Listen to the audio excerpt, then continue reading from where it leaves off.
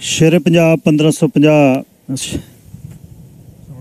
ਸ਼ੇਰੇ Punjab 600 AM ਤੇ ਨਿੱਘਾ ਹਾਰਦਿਕ ਸਵਾਗਤ ਹੈ। ਮੈਂ ਤੁਹਾਡਾ ਮੇਜ਼ਬਾਨ ਹਰਜੀਤ ਸਿੰਘ ਗਿੱਲ।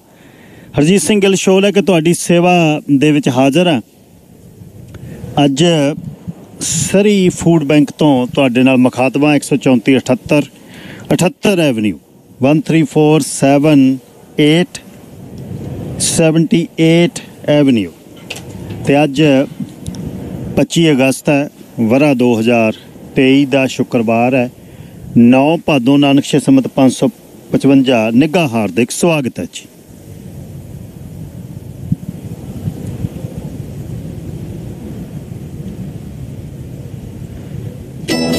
ਅੱਜ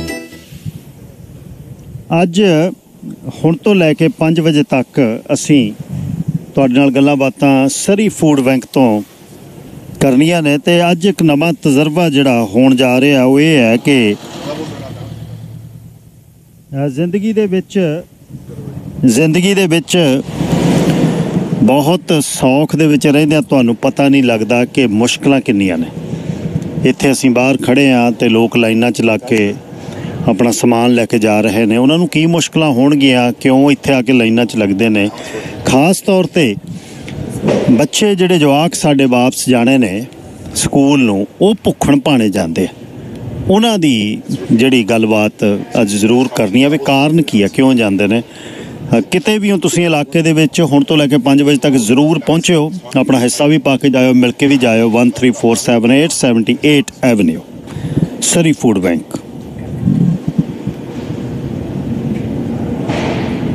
So, it's working now.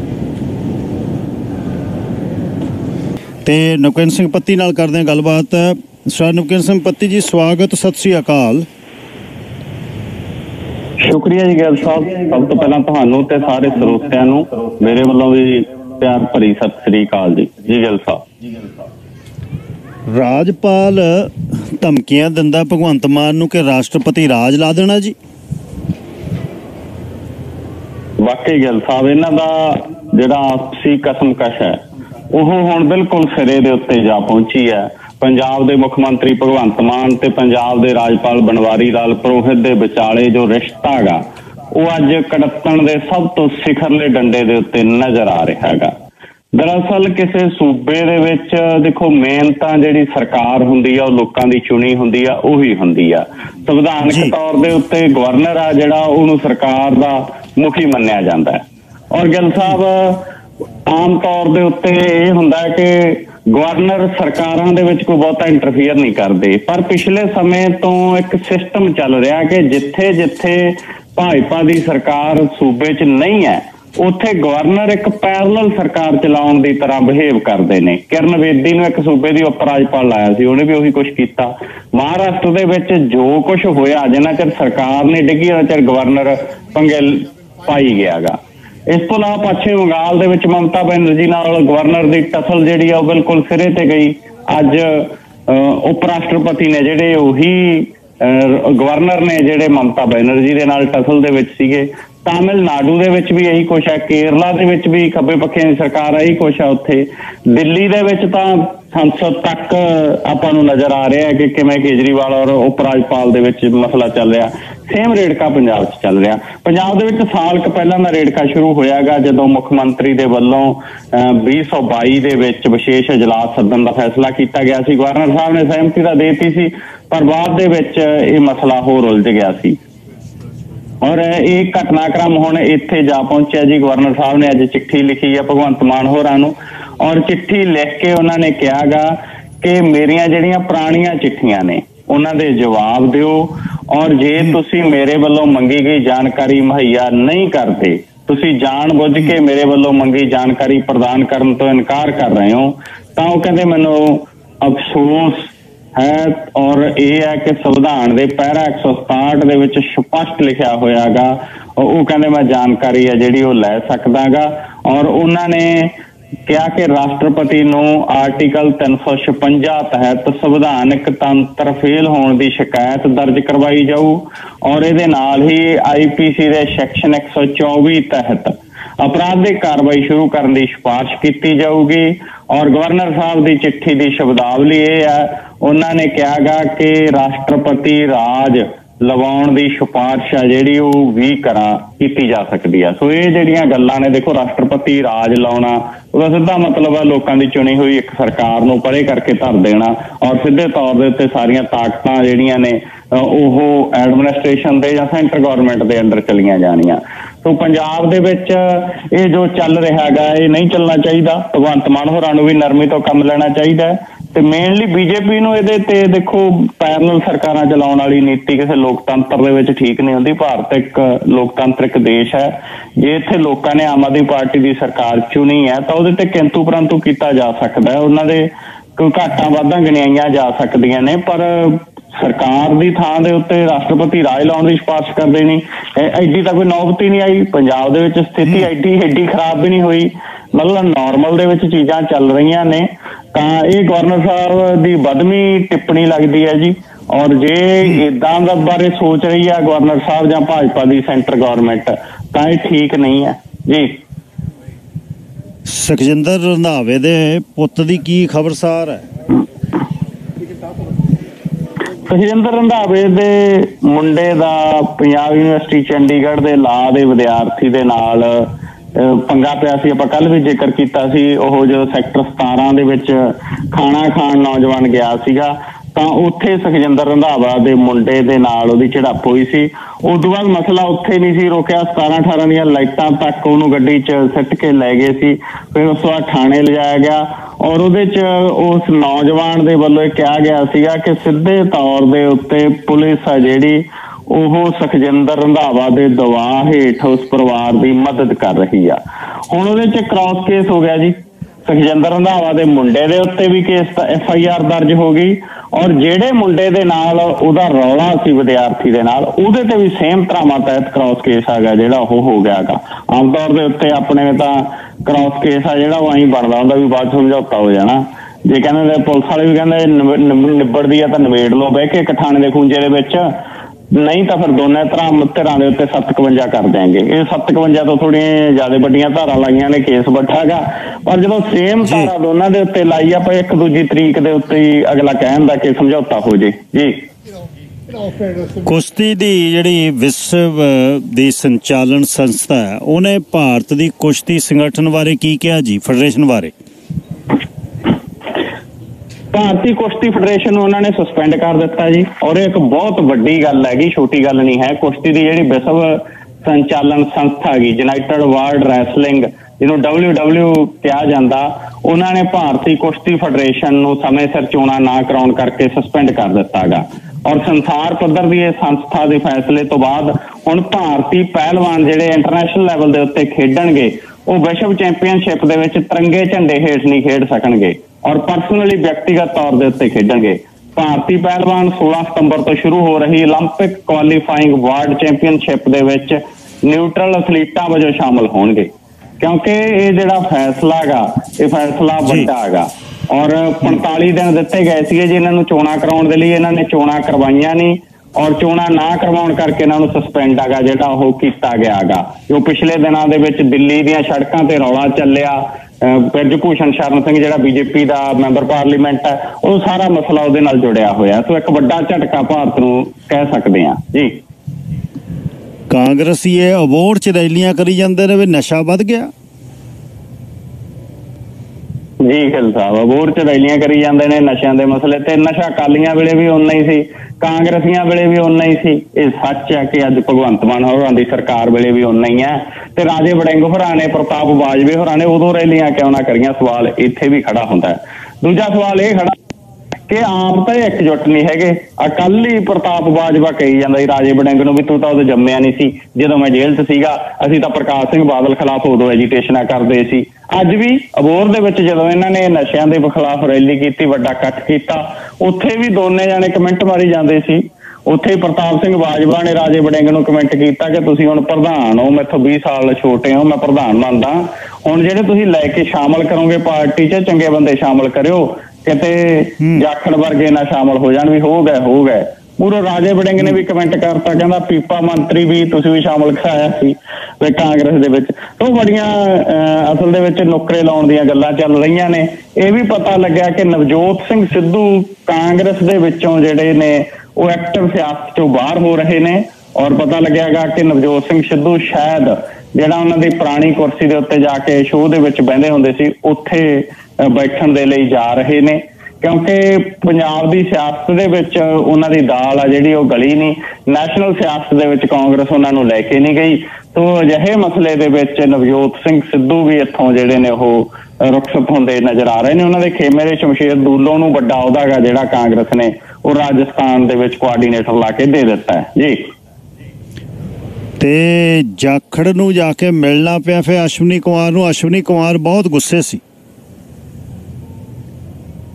ਬੜਾ ਗੁੱਸੇ ਸੀ। ਪਹਿਲੀ ਵਾਰ ਮਿਲਿਆ ਜੀ, ਜਿੱਦਾਂ ਦਾ ਜਾਖੜ ਪ੍ਰਧਾਨ ਬਣਿਆ ਉਦੋਂ ਦਾ ਮਿਲਿਆ ਹੀ ਨਹੀਂ। ਖੈਰ, ਗੁੱਸੇ ਹੋਣਾ ਵੀ ਆ, ਉਹ ਕਹਿੰਦਾ ਜਦੋਂ ਕਿਸਾਨ ਅੰਦੋਲਨ ਸੀ, ਜਦੋਂ ਭਾਰਤੀ ਜਨਤਾ ਪਾਰਟੀਆਂ ਦੇ ਮਗਰ ਲੋਕ ਡੰਡੇ ਤੇ ਝੰਡੇ ਲੈ ਕੇ ਪੈਂਦੇ ਸੀ, ਉਦੋਂ ਤਾਂ ਕਹਿੰਦਾ ਕੋਈ ਸ਼ਾਮਲ ਨਹੀਂ ਹੋਇਆ, ਉਦੋਂ ਤਾਂ ਮੈਂ ਪ੍ਰਧਾਨ ਸੀ। ਤੇ ਕਿੰਨਾ ਚਿਰ ਕਾਲੀਆਂ ਤੋਂ ਕਹਿੰਦਾ ਅਸੀਂ ਮਤਲਬ ਮਿਹਣੇ ਸੁਣੀ ਗਏ ਉਦੋਂ ਨਹੀਂ ਕੋਈ ਸ਼ਾਮਲ ਹੋਇਆ, ਅਸੀਂ ਕਿਵੇਂ ਕਾਲੀਆਂ ਨਾਲ ਕੱਟਿਆ, ਉਹ ਅਸੀਂ ਜਾਣਦੇ ਹਾਂ। ਹੁਣ ਜਦੋਂ ਕਹਿੰਦਾ ਪੰਜਾਬ ਦੇ ਵਿੱਚ ਸਾਨੂੰ ਐ ਲੱਗਿਆ ਵੀ ਖਣੀ ਅਸੀਂ ਅੱਗੇ ਨੂੰ ਵਧਾਂਗੇ ਕਾਲੀਆਂ ਤੋਂ ਪਾਸੇ ਹੋਏ ਹੁਣ ਜਾਖੜ ਸਾਹਿਬ ਆ ਗਏ। ਤਾਂ ਇਹ ਪਤਾ ਲੱਗਿਆ ਜੀ, ਅਸ਼ਵਨੀ ਸ਼ਰਮਾ ਇਹਨਾਂ ਦਾ ਐਮਐਲਏ ਆ ਔਰ ਗੁਰਦਾਸਪੁਰ ਏਰੀਏ ਦੇ ਵਿੱਚ ਜਾਂ ਤਾਂ ਉਹਨੂੰ ਲੋਕ ਸਭਾ ਦੀ ਚੋਣ ਲੜਾਉਣ ਦੇ ਲਈ ਸਹਿਮਤ ਕੀਤਾ ਜਾ ਰਿਹਾ ਵੀ ਤੈਨੂੰ ਲੜਾਵਾਂਗੇ ਸਣੀ ਦਿਓਲ ਦੀ ਥਾਂ ਦੇ ਉੱਤੇ, ਕਿਉਂਕਿ ਗੁਰਦਾਸਪੁਰ ਨੂੰ ਇਹ ਸੇਫ ਸੀਟ ਆ ਜਿਹੜੀ ਉਹ ਮੰਨ ਰਹੇ ਨੇ। ਜਾਂ ਤਾਂ ਇਹ ਐਗਰੀਮੈਂਟ ਹੋਇਆ ਜਾਂ ਦੂਜੀ ਇਹ ਗੱਲ ਚਰਚਾ ਵੀ ਚੱਲ ਰਹੀ ਹੈ ਵੀ 6 ਮਹੀਨੇ ਰਹਿੰਦੇ ਨੇ ਚੋਣਾਂ ਹੋਣ ਚ। 6 ਮਹੀਨੇ ਕਿਸੇ ਨੂੰ ਬਿਨਾਂ ਚੋਣ ਲੜਾਏ ਜਿਹੜਾ ਉਹ ਮੰਤਰੀ ਬਣਾਇਆ ਜਾ ਸਕਦਾ ਸੋ ਸੈਂਟਰ ਦੇ ਵਿੱਚ ਅਸ਼ਵਨੀ ਸ਼ਰਮਾ ਨੂੰ ਮੰਤਰੀ ਬਣਾ ਕੇ ਵੀ ਖੁਸ਼ ਕੀਤਾ ਜਾ ਸਕਦਾ ਕਿਉਂਕਿ ਅਸ਼ਵਨੀ ਸ਼ਰਮਾ ਕੱਲਾ ਨਹੀਂ ਹੈ। ਭਾਜਪਾ ਦਾ ਜਿਹੜਾ ਪੁਰਾਣਾ ਖੇਮਾ ਗਾ ਉਹ ਸਾਰਾ ਨਾਰਾਜ਼ ਆ ਅਸਲ ਦੇ ਵਿੱਚ।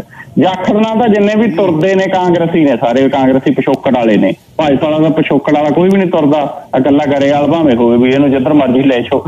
ਅਦਰਵਾਈਜ਼ ਤਾਂ ਪੁਰਾਣੇ ਤੁਰਦੇ ਨਹੀਂ ਤਾਂ ਅਸ਼ਮਨੀ ਸ਼ਰਮਾ ਦੇ ਨਾਲ ਜਾਖੜ ਦੀ ਜੇ ਅੱਜ ਮੁਲਾਕਾਤ ਹੋਈ ਹੈਗੀ। ਤਾਂ ਲੱਗਦਾਗਾ ਕਿ ਪੁਰਾਣਿਆਂ ਨੂੰ ਖੁਸ਼ ਕਰਨ ਦੀ ਕਵਾਇਦ ਹੈ। ਜੀ। ਅੱਛਾ ਨਾਲ ਇਹ ਦੱਸਿਓ ਬਈ ਜਗਰਾਉਂ ਦੇ ਵਿੱਚ ਕੁਰਸੀ ਦਾ ਹਲੇ ਨਿਬੜਿਆ ਨਹੀਂ ਕੰਮ ਕੋਠੀ ਦਾ ਸੱਚ? ਹੁਣ ਕੀ ਚੱਲ ਰਿਹਾ? ਨਿਬੜਿਆ ਨਹੀਂ ਨਿਬੜਿਆ ਨਹੀਂ ਜੀ ਹਜੇ ਕੰਮ। ਉਹਨੇ ਚਾਬੀਆਂ ਤਾਂ ਦੇਤੀਆਂ ਸੀਗੀਆਂ ਵਕੀਲ ਨੇ ਪਰ ਉਹਦੇ ਵਾਅਦਾ ਵੀ ਕਰ ਗਿਆ ਸੀਗਾ ਵੀ ਮੈਂ ਇਹਦੇ ਨਾਂ ਇੰਤਕਾਲ ਕਰਵਾਉਂਗਾ। ਐਨ ਆਰ ਆਈ ਪਰਿਵਾਰ ਦੇ ਇੰਤਕਾਲ ਉਹਨਾਂ ਦੇ ਨਾਂ ਕਰਾਇਆ ਨਹੀਂ।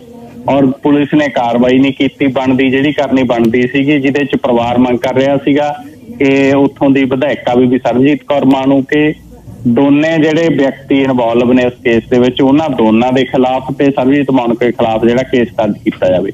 ਹੁਣ ਪੀੜਤ ਪਰਿਵਾਰ ਜਿਹੜੀ ਐਨ ਆਰ ਆਈ ਮਹਿਲਾ ਕੈਨੇਡਾ ਦੀ ਵਸਨੀਕ ਅਮਰਜੀਤ ਕੌਰ ਹਾਈ ਕੋਰਟ ਦਾ ਰੁਖ ਕੀਤਾ। ਹਾਈ ਕੋਰਟ 'ਚ ਉਹਨੇ ਪਟੀਸ਼ਨ ਪਾਈ ਹੈ।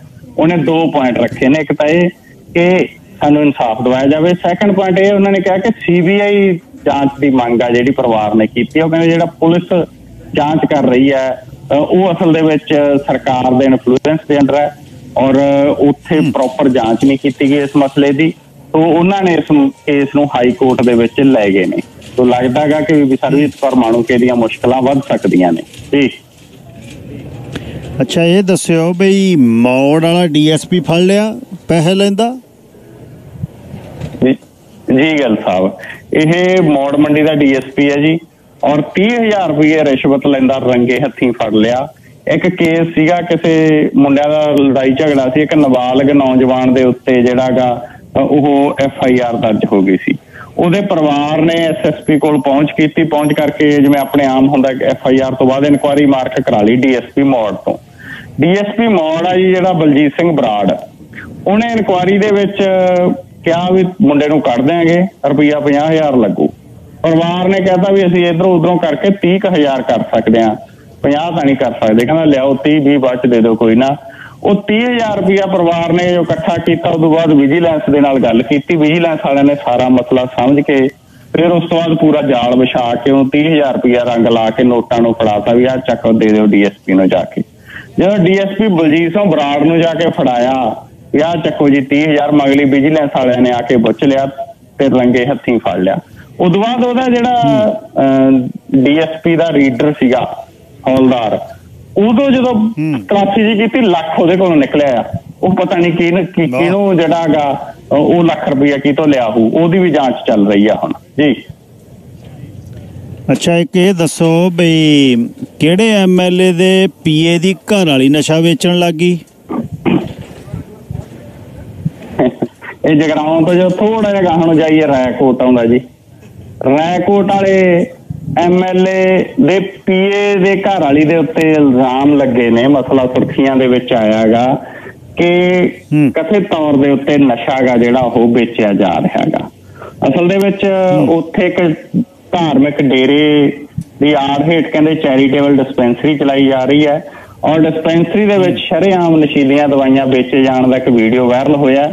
ਇਹ ਵੀ ਇੱਕ ਪਿਛਲੇ ਦਿਨੀ ਨੌਜਵਾਨ ਦੀ ਭੇਤ ਭਰੀ ਹਾਲਤ ਦੇ ਵਿੱਚ ਜਿਹੜੀ ਮੌਤ ਆ ਗਈ ਰੈਕੋਰਡ ਦੇ ਵਿੱਚ ਉਹ ਹੋਈ ਸੀ। ਜਿਸ ਤੋਂ ਬਾਅਦ ਮਸਲਾ ਭਖ ਗਿਆ ਸੀ। ਉਦੋਂ ਬਾਅਦ ਹਾਹਾਕਾਰ ਮੱਚੀ ਸੀ। ਫਿਰ ਪਤਾ ਲੱਗਿਆ ਸੀਗਾ ਕਿ ਨਸ਼ਾ ਆਉਂਦਾ ਕਿੱਥੋਂ ਆ। ਉਦੋਂ ਬਾਅਦ ਇਹ ਅਣਅਧਿਕਾਰਤ ਤੌਰ ਦੇ ਉੱਤੇ ਜਿਹੜੀ ਡਿਸਪੈਂਸਰੀ ਚਲਾਈ ਜਾ ਰਹੀ ਆ ਉਹਦੇ ਤੇ ਉਂਗਲ ਉੱਠੀ ਸੀ। ਔਰ ਉਹਦੀ ਵੀਡੀਓ ਵੀ ਵਾਇਰਲ ਹੋਈ ਸੀ।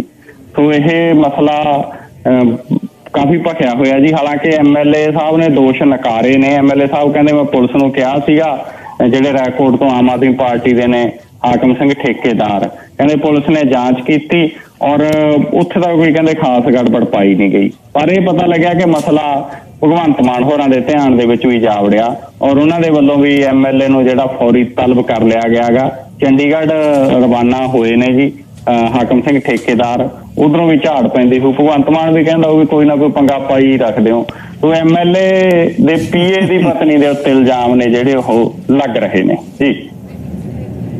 ਹੜਾਂ ਦੀ ਕੀ ਸਥਿਤੀ ਆ? ਜਿਹੜੇ 6 ਨੌਜਵਾਨ ਹੜ ਕੇ ਦੂਜੇ ਬੰਨੇ ਚਲੇ ਗਏ ਲੈਂਦੇ ਪੰਜਾਬ 'ਚ ਉਹਨਾਂ ਦੇ ਬਾਰੇ ਗੱਲਬਾਤ ਦੱਸੋ।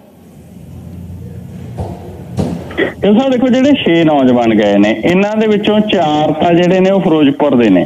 ਗਰਮੇਜ ਛਿੰਦਰ ਸਿੰਘ, ਜੋਗਿੰਦਰ ਸਿੰਘ, ਵਿਸ਼ਾਲ ਸਿੰਘ।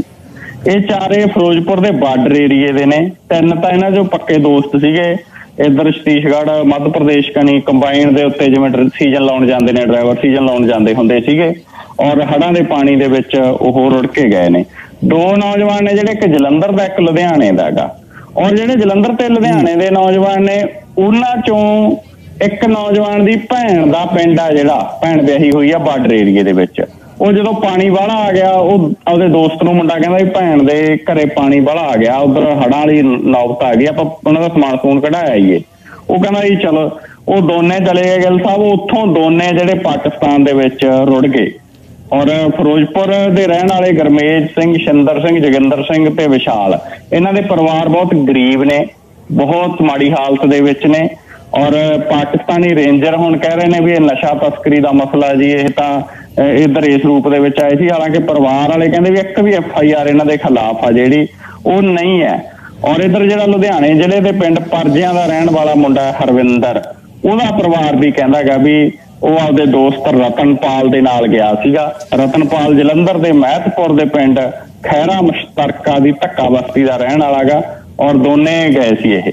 ਇਹ 6 ਨੌਜਵਾਨ ਇਸ ਵਕਤ ਪਾਕਿਸਤਾਨ ਦੀ ਜੇਲ੍ਹ ਦੇ ਵਿੱਚ ਨੇ ਔਰ ਇਹਨਾਂ ਦੀ ਰਿਹਾਈ ਦੀ ਮੰਗ ਕੀਤੀ ਜਾ ਰਹੀ ਹੈ। 6 ਦੇ 6 ਪੰਜਾਬ ਦੇ ਨੇ, ਚਾਰ ਫਿਰੋਜ਼ਪੁਰ ਤੇ ਇੱਕ ਲੁਧਿਆਣਾ ਜਲੰਧਰ ਦਾ।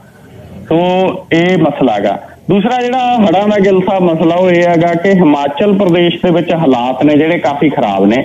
ਹਿਮਾਚਲ ਪ੍ਰਦੇਸ਼ ਕੱਲਾ ਨਹੀਂ ਜਿਹਨੂੰ ਮੈਂ ਹਿਮਾਲਿਆ ਦਾ ਕਹਾ ਨਾ, ਅਸਲ ਦੇ ਵਿੱਚ 2014 ਦੇ ਵਿੱਚ ਸੈਂਟਰ ਗਵਰਨਮੈਂਟ ਇੱਕ ਪਾਲਿਸੀ ਲੈ ਕੇ ਆਈ ਸੀ, ਹਿਮਾਲਿਆ ਨੂੰ ਲੈ ਕੇ। ਉਹ ਸੀਗਾ ਕਿ ਹਿਮਾਲਿਆ ਦਾ ਜਿਹੜਾ ਵਾਤਾਵਰਣ ਢਾਂਚਾ ਹੈਗਾ ਉਹਦੀ ਹੰਢਣਸਾਰਤਾ ਸੰਬੰਧੀ ਇੱਕ ਕੌਮੀ ਮਿਸ਼ਨ ਲਿਆਂਦਾ ਗਿਆ ਸੀਗਾ। ਐਨਐਮ ਐਸਐਚਈ ਇਹਦਾ ਨਾਮ ਸੀਗਾ ਔਰ ਇਹਦੇ ਲਈ ਇੱਕ ਐਕਸ਼ਨ ਪਲਾਨ ਕੀਤਾ ਸੀਗਾ। ਤੇ ਹੁਣ ਹਿਮਾਚਲ ਪ੍ਰਦੇਸ਼ ਉੱਤਰਾਖੰਡ ਦੇ ਵਿੱਚ ਕੁਦਰਤੀ ਕਰੋਪੀ ਆ ਜਿਹੜੀ ਇਹਨਾਂ ਦਾ ਸੋ ਕਾਲਡ ਡਿਵੈਲਪਮੈਂਟ ਕਰਕੇ ਆਈ ਹੋਈ ਆ। ਢਿਗਾਂ ਡਿੱਗ ਰਹੀਆਂ ਜੋਸ਼ੀ ਮੱਠ ਦੇ ਵਿੱਚ ਜ਼ਮੀਨ ਗਰਕਣ ਵਰਗੀਆਂ ਘਟਨਾਵਾਂ ਨੇ। ਸਵਾਲ ਖੜੇ ਕੀਤੇ ਨੇ ਸ਼ਿਮਲਾ ਪੂਰੀ ਤਰ੍ਹਾਂ ਢਹਿ ਢੇਰੀ ਹੁੰਦਾ ਨਜ਼ਰ ਆ ਰਿਹਾ। ਹੈ ਹਿਮਾਚਲ ਦਾ ਛੇਤੀ ਕੀਤਾ ਪੈਰਾਂ ਪਰ ਹੋਣਾ ਔਖਾ ਹੈਗਾ, ਕਿਉਂਕਿ ਉੱਥੇ hotel home stay hydel project ਭਿਆਨਕ ਤਬਾਹੀ ਹੈ ਜਿਹੜੀ ਉਹ ਹੋ ਚੁੱਕੀ ਹੈ। ਔਰ ਸਾਰਾ ਪਾਣੀ ਉੱਥੋਂ ਹਿਮਾਚਲ ਕਨੀਓ ਜਿਹੜਾ ਉਹ ਪੰਜਾਬ ਆ ਰਿਹਾ, ਆਪਣੇ ਵੀ ਇੱਧਰ ਰੋਪੜ ਏਰੀਏ ਦੇ ਵਿੱਚ ਔਰ ਬਾਰਡਰ ਏਰੀਏ ਦੇ ਵਿੱਚ ਤੀਜੀ ਵਾਰ ਹੜ੍ਹਾਂ ਦੀ ਨੌਬਤ ਆ ਚੁੱਕੀ ਹੈ। 15 ਕੁ ਦਿਨ ਪਹਿਲਾਂ ਸੈਕੰਡ ਟਾਈਮ ਕਹਿੰਦੇ ਸੀ ਆਪਾਂ, ਹੁਣ ਅੱਜ ਕੱਲ ਤੀਜੀ ਵਾਰ ਉਹਨਾਂ ਲੋਕਾਂ ਨੂੰ ਹੜ੍ਹਾਂ ਦਾ ਸੰਤਾਪ ਹੰਡਾਉਣ ਦੇ ਲਈ ਮਜਬੂਰ ਹੋਣਾ ਪੈ ਰਿਹਾ।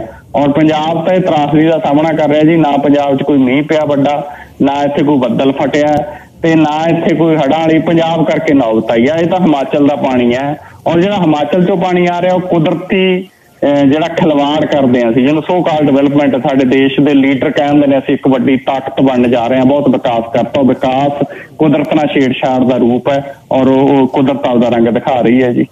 ਜੀ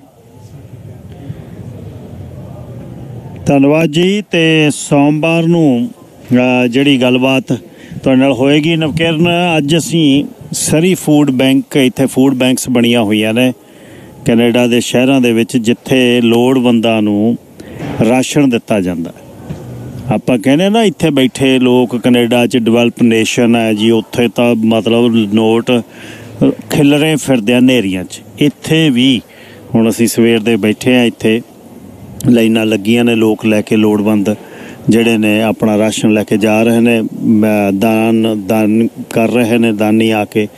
ਸੋ ਜ਼ਿੰਦਗੀ ਸੌਖੀ ਨਹੀਂ ਕਿਤੇ ਵੀ, ਚਾਹੇ ਕੈਨੇਡਾ, ਚਾਹੇ ਪੰਜਾਬ ਹੈ, ਹਰ ਜਗ੍ਹਾ ਇਸ਼ੂਜ਼ ਨੇ, ਬੰਦਾ ਜਦ ਤੱਕ ਜਿਉਂਦਾ, ਜਦ ਤੱਕ ਇਹ ਧਰਤੀ ਤੇ ਰਹਿੰਦਾ, ਉਹ ਇਸ਼ੂਜ਼ ਦੇ ਨਾਲ ਇਹ ਰੋਜ਼ਮਰਾ ਦੀ ਜ਼ਿੰਦਗੀ ਦੇ ਇਸ਼ੂਜ਼ ਨੇ, ਭਾਰਤ ਚ, ਪੰਜਾਬ ਚ ਹੋਰ ਨੇ, ਸਾਡੇ ਹੋਰ ਨੇ।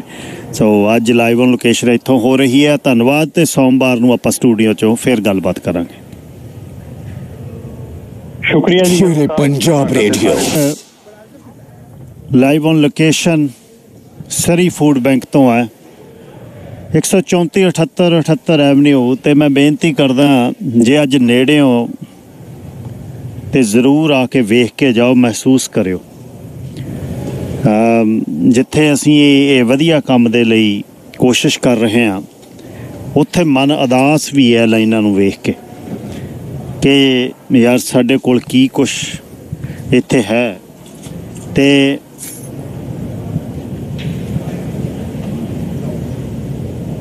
Harvinder Sani. ਤੇ ਵੀ ਅਸੀਂ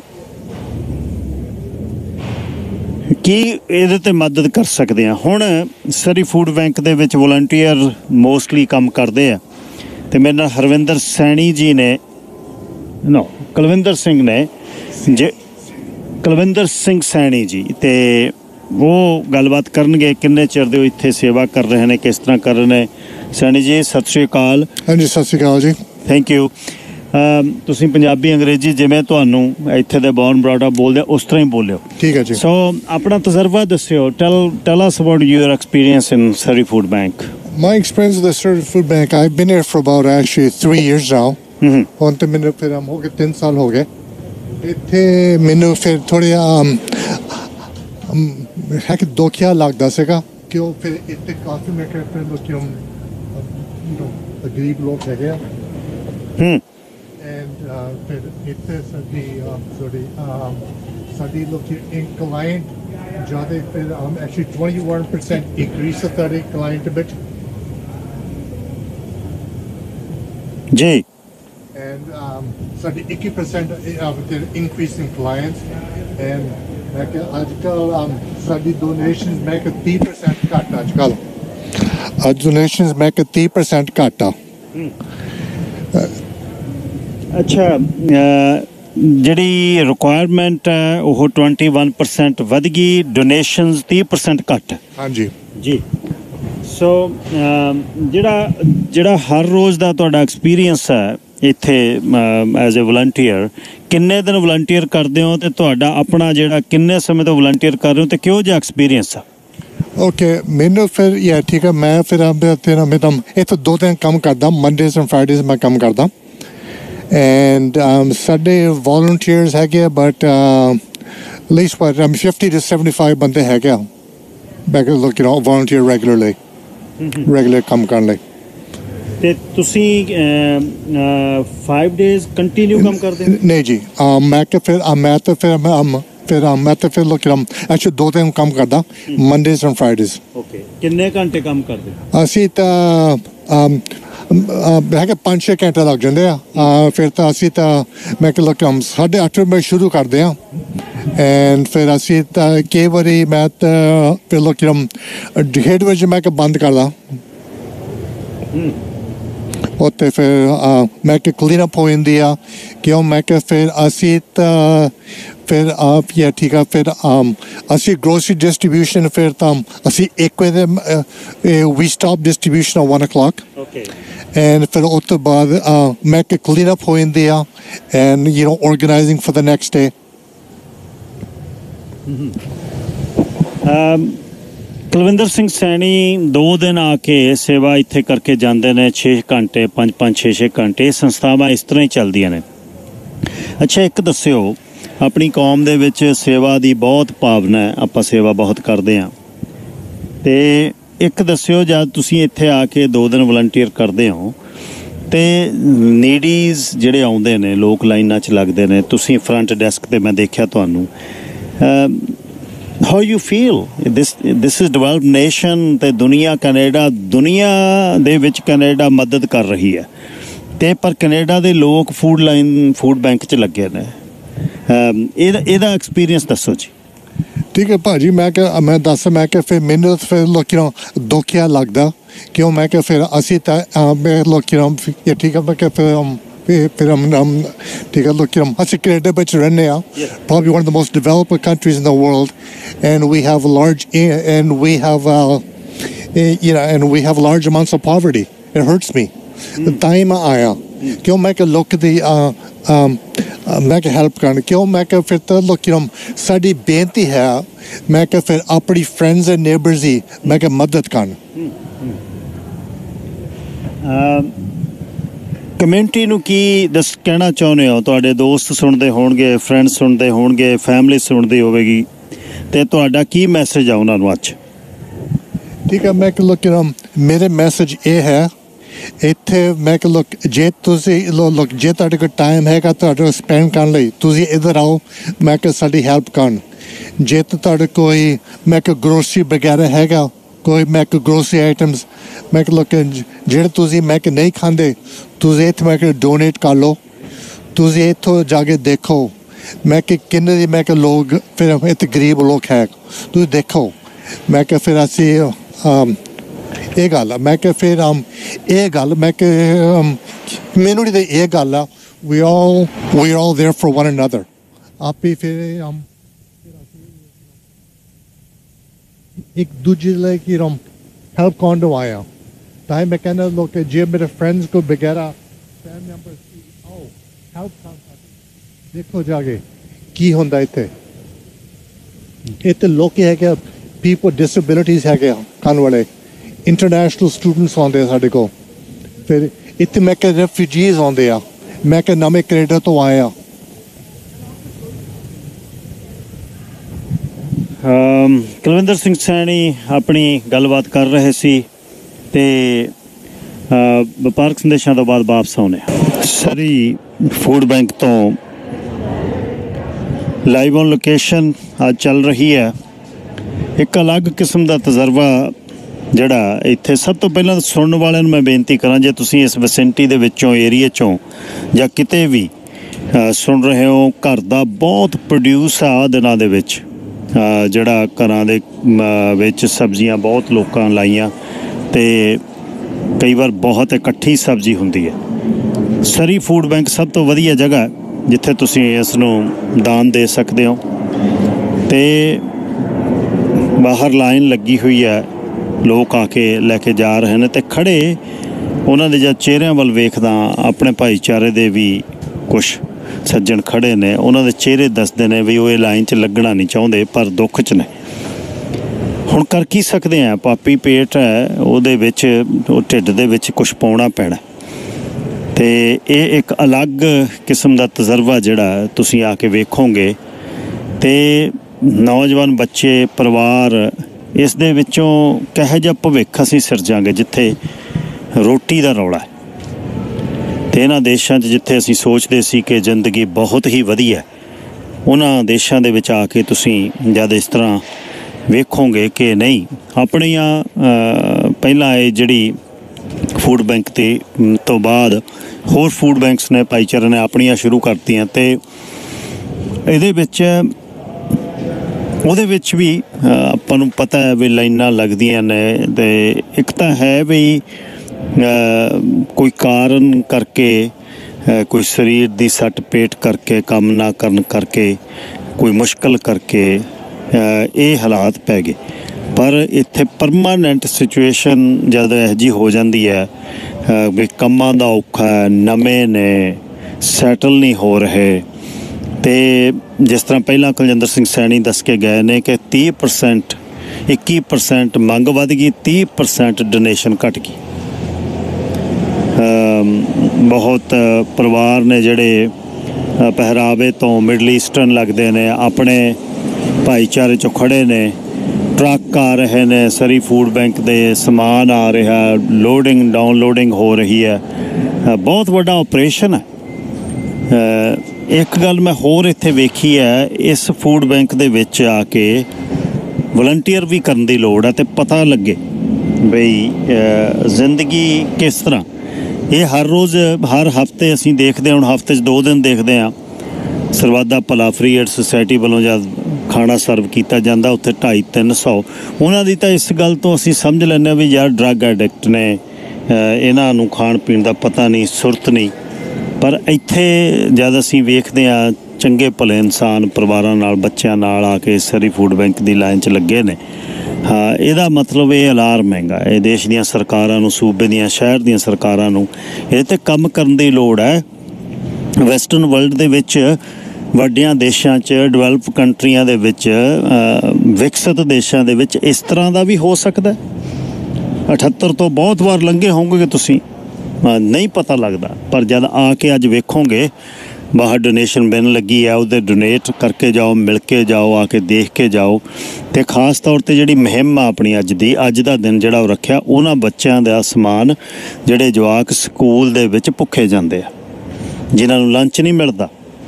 ਇਹ ਸ਼ੁਰੂ ਕੀਤਾ ਸੀ ਕਮਿਊਨਿਟੀ ਨੇ ਇਹ ਐਫਰਟਸ ਵੀ ਸ਼ੁਰੂ ਕੀਤੇ ਸੀ ਕਿ ਬਹੁਤ ਨੇ ਜਿਹੜੇ ਸਾਡੇ ਆਪਣੇ ਸਰੀ ਦੇ ਸਕੂਲਾਂ 'ਚ ਬੱਚਿਆਂ ਦੇ ਕੋਲ ਲੰਚ ਨਹੀਂ ਹੁੰਦਾ।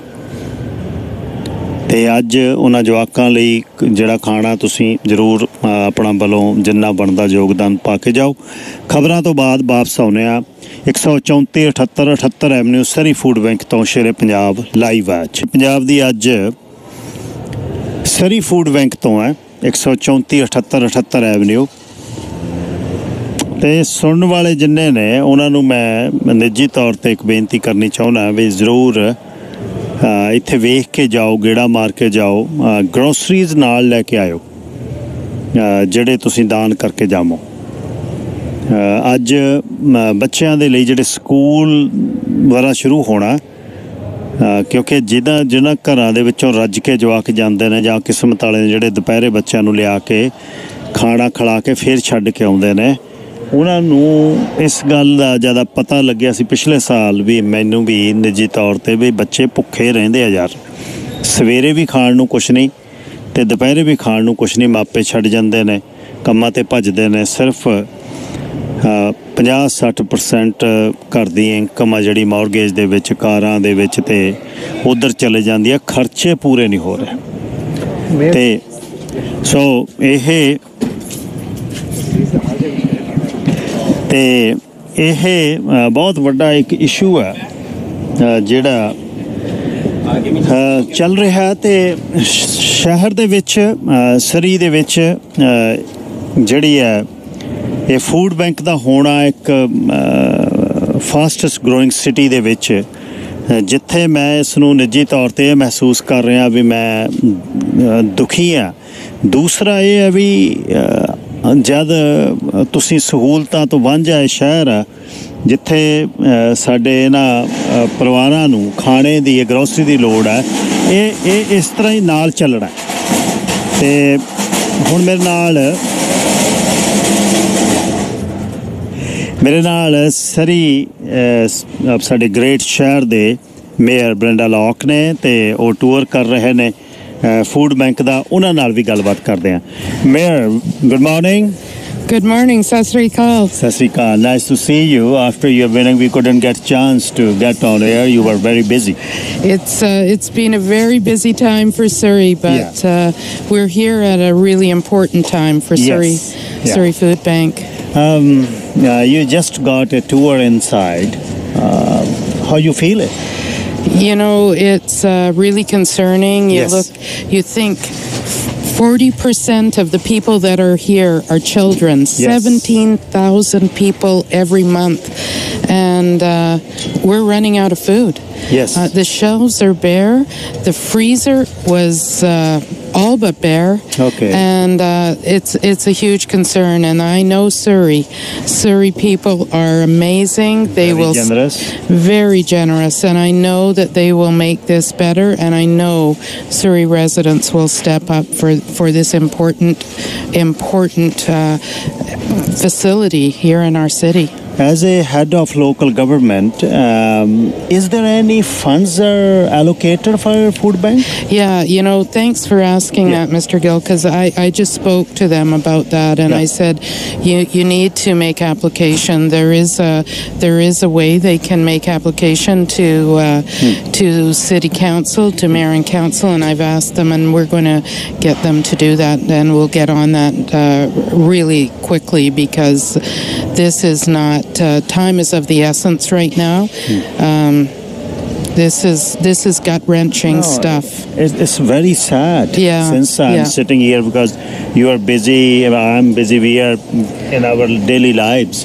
But once you get real uh, life here, you noticed the the lineup from from the morning. It's a developed nation, It is. best place on on earth. Our slogan. Yeah. In in BC and BC government have some funds also in. Yes, the BC government has stepped up and they're giving, uh, I think, for all food banks in the province, they're giving $15 million. Okay. But that money won't hit the hmm. ground with these hmm. people for a hmm. couple of months because provincial governments take longer pro- time processing and, and all uh, the steps that have to go through. City Council, we can work quickly, and we will. We will give them, um, you know, I'll be talking to council in the next uh, coming days Okay. and uh, get that uh, ramped up. And I know the good work that you're doing here with Shri Punjab. I, I appreciate that a lot because your listener is uh, the very person that will will always give. They always do. They never let us down. You're in politics from years now, provincial, and you were minister. And uh, uh, uh, how you describe it? What, what is the reason behind these people? They, they come in the food bank. You know, um, looking at it right now, we know that a lot of the people that are coming are, are refugees, some are new immigrants. But it's just the cost of living right now. Honestly, you look at uh, what's happened with interest rates going Yes. up, going up. People are just struggling, and you know the part that scares me the most is September. September for families is always the toughest. Yeah. Kids are going back to Back to school. I don't know why it seems like all the bills seem to land in September, but they're going back to school. They're going new school clothes, new school books, and uh, then any sports teams they're joining, they need more money for that. It's just a time when parents and families are just tapped for resources. So uh, to have that um, security of a food bank is something that people have to lean on from time to time. Last year, uh, during my show, friends of mine called in and he said, uh, I wanted to share one incident. He was in, uh, in children's school dropping some lunch. While he was serving lunch to his children, his few friends got in. They said, We didn't eat from one week, we, we didn't have lunch. They are coming to school without lunch. So, uh, specifically today, I would like to ask you that uh, give a message out so people can come in and uh, donate for, for the children going back to school. I, I, I absolutely want people to give what they can, and it's hard sometimes, but give what you can because um, families need it and children need it, and the kids in schools absolutely, absolutely need it, and so we need to step up, especially this month of September. It's a great month uh, for so many things, but it's also an important month to give if you can. Mayor, thank you very much for joining us for this noble cause, and we will giving message out till five o'clock today. We are doing three shows uh, from here. Thank you, and very nice to see you. Thank you, thank you, Mr. Gill. Thank you to Sherry Punjab. This is uh, truly um, phenomenal that you're doing this. So thank you all very much. Best wishes. Thank you. Mayor Brenda Locke ਗੱਲਬਾਤ ਕਰ ਰਹੇ ਸੀ। ਅ, ਤੇ ਵਪਾਰਕ ਸੰਦੇਸ਼ਾਂ ਤੋਂ ਬਾਅਦ ਵਾਪਸ ਆਉਂਦੇ ਹੋ। ਤੇ ਤੁਸੀਂ ਮੇਅਰ ਤੋਂ ਸੁਣ ਕੇ ਹਟੇ ਹੋ। ਜੋ ਵੀ ਇੱਥੇ ਆਉਂਦਾ ਜਿਹੜਾ ਦਾਨ ਵੀ ਕਰਕੇ ਜਾਂਦਾ ਜਿਹੜੇ ਲੈਣ ਵੀ ਆਉਂਦੇ ਨੇ ਰਸਦਾਂ ਜਵਾਕ ਨੇ ਮਾਮਾ ਨੇ ਨਾਲ ਤੇ ਇਹ ਲੜਾਈ ਦੇ ਦੇਸ਼ਾਂ ਦੇ ਵਿੱਚੋਂ ਆਏ ਹੋਏ ਲੋਕ ਨੇ ਤੇ ਉਹਨਾਂ ਨੂੰ ਖੜਿਆਂ ਨੂੰ ਵੇਖ ਕੇ ਇੱਕ ਸਮਾਂ ਸੀ ਜਦ ਅ, ਬੇਘਰੇ ਜਾਂ ਨਸ਼ੇ ਤੋਂ ਪੀੜਤ ਲੋਕ ਸ- ਫੂਡ ਬੈਂਕ ਚ ਆਉਂਦੇ ਸੀ। ਪਰ ਹੁਣ ਉਸ ਤਰ੍ਹਾਂ ਨਹੀਂ ਹੈ। ਹੁਣ ਤਾਂ ਅੱਜ ਤਾਂ ਇੱਥੇ ਵੱਖਰਾ ਹੀ ਇੱਕ ਵੇਖਣ ਨੂੰ ਮਿਲਦਾ ਜਿੱਥੇ ਚੰਗੇ ਭਲੇ ਪਰਿਵਾਰ ਜਿਹੜੇ ਜਵਾਕਾਂ ਦੇ ਜਿਹੜੇ ਮਾਪਿਆਂ ਦੇ ਘਰੇ ਖਾਣਾ ਹੈ ਨਹੀਂ ਉਹ ਜਵਾਕ ਕਿਹੋ ਜਿਹਾ ਭਵਿੱਖ ਹੋਊਗਾ ਕੱਲ ਨੂੰ ਕੈਨੇਡਾ ਦਾ? ਮੈਨੂੰ ਅੱਜ ਨਿੱਜੀ ਤੌਰ ਤੇ ਉਦਾਸੀ ਵੀ ਆ, ਦੁੱਖ ਵੀ ਹੈ ਯਾਰ, ਤੁਸੀਂ ਬੈਸਟ ਪਲੇਸ ਬੈਸਟ ਪਲੇਸ ਦਾ ਰੌਲਾ ਪਾ ਰਹੇ ਹੋ, ਤੁਸੀਂ ਕੰਟਰੀ ਕਹਿ ਰਹੇ ਹੋ, ਅਸੀਂ ਡਿਵੈਲਪ ਨੇਸ਼ਨ ਹੈ ਮਿਲੀਅਨਸ ਆਫ ਡਾਲਰ ਫੰਡਿੰਗ ਹੋ ਰਹੀ ਆ, ਆਹ ਕਰ ਦਿਆਂਗੇ, ਉਹ ਕਰ ਦਿਆਂਗੇ, ਤੁਹਾਨੂੰ ਰਾਕਟ ਦੇ ਦਿਆਂਗੇ, ਤੁਹਾਨੂੰ ਇਹ ਦੇ ਦਿਆਂਗੇ, ਤੁਹਾਨੂੰ ਉਹ ਪਰ ਲੋਕ ਭੁੱਖੇ ਨੇ ਯਾਰ, ਲਾਈਨਾਂ 'ਚ ਖੜੇ ਨੇ ਸਵੇਰੇ 8 ਵਜੇ ਦੇ। ਕਮੇਟੀ ਐਕਟਿਵਿਸਟ ਤੇ ਛੋਟਾ ਭਾਈ ਸਰ ਗਗਨ ਸਿੰਘ ਨੂੰ ਆਵਾਜ਼ ਮਾਰੀ ਸੀ ਉਹ ਵੀ ਪਹੁੰਚੇ ਆ। ਗੱਲਬਾਤ ਕਰਦੇ ਆ ਗਗਨ ਸਿੰਘ ਜੀ ਵਾਹਿਗੁਰੂ ਜੀ ਕਾ ਖਾਲਸਾ ਵਾਹਿਗੁਰੂ ਜੀ ਅਮ ਇੱਥੋਂ ਆਪਾਂ ਬਹੁਤ ਵਾਰ ਲੰਘ ਜਾਂਦੇ ਹਾਂ 78 ਐਵਨਿਊ ਤੇ। ਅੱਜ ਮੈਂ ਸਰੀ ਦੀ ਕਿਸੇ ਫੂਡ ਬੈਂਕ 'ਚ ਪਹਿਲੀ ਵਾਰ ਆਇਆ। ਮੈਂ ਕਦੇ ਆਇਆ ਨਹੀਂ। ਜੀ। ਚਲੋ ਆਪਾਂ ਗੁਰਦੁਆਰਾ ਸਾਹਿਬਾਨ ਦੇ ਵਿੱਚੋਂ ਇਕੱਠਾ ਕਰਨ ਲਈ ਕੁਝ ਸਦਾ ਹੀ ਤਤਪਰ ਰਹੇ ਹੋ ਤੁਸੀਂ ਫਰੰਟ ਲਾਈਨ 'ਚ ਰਹੇ ਹੋ ਚਾਹੇ ਲਿਟਣ ਦੀ ਅੱਗ ਸੀ ਚਾਹੇ ਹੜ੍ਹਾਂ ਦੀ ਗੱਲ ਸੀ ਤੇ ਘੰਟਿਆਂ ਦੇ ਵਿੱਚ ਤੁਸੀਂ ਆਰਗੇਨਾਈਜ਼ ਕੀਤਾ ਗੁਰਦੁਆਰਾ ਸਾਹਿਬ ਦੇ ਵਿੱਚੋਂ ਤੇ ਭਾਈ ਸਾਹਿਬ ਭਾਈ ਹਰਦੀਪ ਸਿੰਘ ਨਿੱਜਰ ਨੂੰ ਵੀ ਹੁਣ ਯਾਦ ਕਰਦੇ ਆ ਉਹ ਨਾਲ ਜਾਂ ਸੁਨੇਹਾ ਦਿੱਤਾ ਤਾਂ ਘੰਟਿਆਂ ਦੇ ਵਿੱਚ ਤੁਸੀਂ ਵੈਨ ਤੇ ਦੇਗੇ ਦਾਲਾਂ ਸਬਜ਼ੀਆਂ ਲੈ ਕੇ ਐਬਸਪੋਰਟ ਪਹੁੰਚ ਗਏ ਸੀ। ਜੀ। ਪਰ ਆ ਜਿਹੜਾ ਅੱਜ ਇੱਕ ਅਲੱਗ ਕਿਸਮ ਦਾ ਇੱਥੇ ਆਪਾਂ ਨੂੰ ਵੇਖਣ ਨੂੰ ਮਿਲ ਰਿਹਾ ਇਹਦੇ ਬਾਰੇ ਤੁਸੀਂ ਕੀ ਕਹਿਣਾ ਚਾਹੋ ਦੇਖੋ ਜੋ ਆਪਾਂ ਅੱਜ ਤੱਕ ਕਰਦੇ ਰਹੇ ਉਹ ਸੀਜ਼ਨਲ ਸੀਗਾ ਜਾਂ ਟੈਂਪਰੇਰੀ ਫੇਸ ਸੀਗਾ ਉਹ ਪਰਮਾਨੈਂਟ ਨਹੀਂ ਸੀ। ਜੋ ਹੁਣ ਇੱਥੇ ਆ ਕੇ ਦੇਖਿਆ ਮੈਂ ਵੀ ਪਹਿਲੀ ਵਾਰੀ ਆਇਆ ਜੀ। ਜਦੋਂ ਮੈਂ ਇੱਥੋਂ 78 ਤੋਂ ਮੁੜਿਆ ਜਦੋਂ ਲਾਈਨ ਦੇਖੀ ਤਾਂ ਸ਼ਾਇਦ ਇਦਾਂ ਸੱਚ ਕਮਾ ਇਦਾਂ ਪੰਜਾਬ 'ਚ ਵੀ ਨਹੀਂ ਹੁੰਦਾ। ਸਹਿਜੇ ਕਿਤੇ। ਬਹੁਤ ਘੱਟ ਬਹੁਤ ਘੱਟ ਹੁੰਦਾ। ਜੇ ਹੋਵੇ ਵੀ ਤਾਂ ਜਿਹੜੇ ਪਰਿਵਾਰ ਇੱਕ ਦੂਜੇ ਦੇ ਨਾਲ ਵੈਸੇ ਹੀ ਮਦਦ ਕਰ ਲੈਂਦੇ ਆ ਪਰ ਉਹਨਾਂ ਨੂੰ ਕਿਸੇ ਇਹੋ ਜੀ ਜਗ੍ਹਾ ਤੇ ਲਾਈਨ 'ਚ ਨਹੀਂ ਲੱਗਣਾ ਪੈਂਦਾ ਜੋ ਪੰਜਾਬ ਅਸੀਂ ਦੇਖਿਆ। ਪਰ ਜੋ ਕੈਨੇਡਾ ਦਾ ਇਹ ਰੂਪ ਆ ਇਹਨੂੰ ਮੈਨੂੰ ਲੱਗਦਾ ਕਿਤੇ ਨਾ ਕਿਤੇ ਜੇ ਇਹਨੂੰ ਸਮ ਅਪ ਕਰਕੇ ਦੇਖੀਏ ਇਸ ਜਗ੍ਹਾ ਆਉਣ ਦੇ ਲਈ ਜਿਵੇਂ ਆਪਾਂ ਹੁਣੇ ਗੱਲ ਕਰਦੇ ਹਟੇ ਵੀ ਬਹੁਤ ਮਨ ਮਾਰ ਕੇ ਆਉਣਾ ਪੈਂਦਾ। ਇਸ ਜਗ੍ਹਾ ਸੌਖਾ ਨਹੀਂ। ਲੈਣ ਦੇ ਲਈ।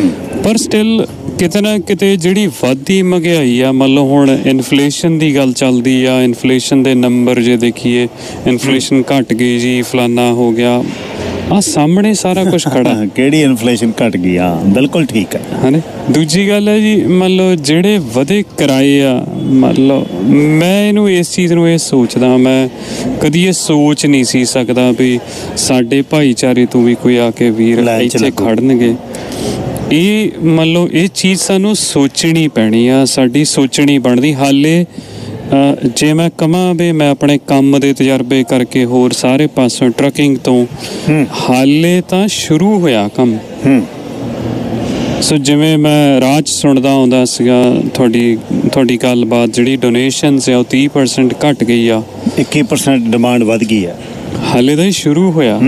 ਡੋਨੇਸ਼ਨ ਹੋਰ ਜਿਹੜੀ ਆ ਉਹ ਹੋਰ ਘਟੂਗੀ ਕਿਉਂਕਿ ਜਦੋਂ ਮੋਰੇ ਕਿਸੇ ਨੂੰ ਮਿਲਦਾ ਹੀ ਨਹੀਂਗਾ ਫਿਰ ਉਹ ਅੱਗੇ ਕਿਵੇਂ ਕਰਨਗੇ? ਪਰ ਇੱਕ ਚੀਜ਼ ਮੈਂ ਮੈਂ ਆਉਂਦਾ ਆਉਂਦਾ ਸੋਚਦਾ ਸੀਗਾ ਵੀ ਅਸੀਂ ਸਾਰੇ ਆਪੋ ਆਪਣੇ ਘਰਾਂ 'ਚ ਝਾਤੀ ਮਾਰੀਏ ਵੀ ਸਾਡੀਆਂ ਫਰਿੱਜਾਂ ਦੇ ਵਿੱਚੋਂ ਹਰ ਹਫ਼ਤੇ ਅਸੀਂ ਕਿੰਨਾ ਸਮਾਨ ਗਾਰਬੇਜ 'ਚ ਸਿੱਟਦੇ ਹਾਂ? ਸਾਡੀਆਂ ਪੈਂਟਰੀਜ਼ ਦੇ ਵਿੱਚੋਂ ਕਿੰਨਾ ਸਮਾਨ ਅਸੀਂ ਚੱਕ ਚੱਕ ਕੇ ਜਿਹੜਾ ਐਕਸਪਾਇਰ ਹੋਇਆ ਸਿੱਟਦੇ ਆ ਸੋ ਪਲੀਜ਼ ਮੈਂ ਤਾਂ ਅੱਜ ਤੋਂ ਜਾਣੀ ਮੈਂ ਇਹ ਔਨ 에ਅਰ ਕਹਿ ਕੇ ਚੱਲਿਆ ਵੀ ਔਨ 에ਅਰ ਵੀ ਸਰਦਾਰਨੀ ਨੂੰ ਅੱਜ ਹੀ ਕਹਿਣਾ ਵੀ ਜਦੋਂ ਵੀ ਤੁਸੀਂ ਕੋਈ ਚੀਜ਼ ਲੈ ਕੇ ਆਉਨੇ ਆ ਸਟੋਰੋਂ ਪਹਿਲੋਂ ਤਾਂ ਉਹਨੂੰ ਹਿਸਾਬ ਦੀ ਲੈ ਕੇ ਆਵੋ। ਪਲੱਸ ਨਾਲ ਜਿਹੜਾ ਇੱਕ ਛੋਟੀ ਜਿਹੀ ਬਾਸਕਟ ਚਾਹੇ ਛੋਟਾ ਜਿਹਾ ਬੈਗ ਇੱਕ ਇੱਕ ਉਹ ਫੂਡ ਬੈਂਕ ਲਈ ਜ਼ਰੂਰ ਲੈ ਕੇ ਆਓ।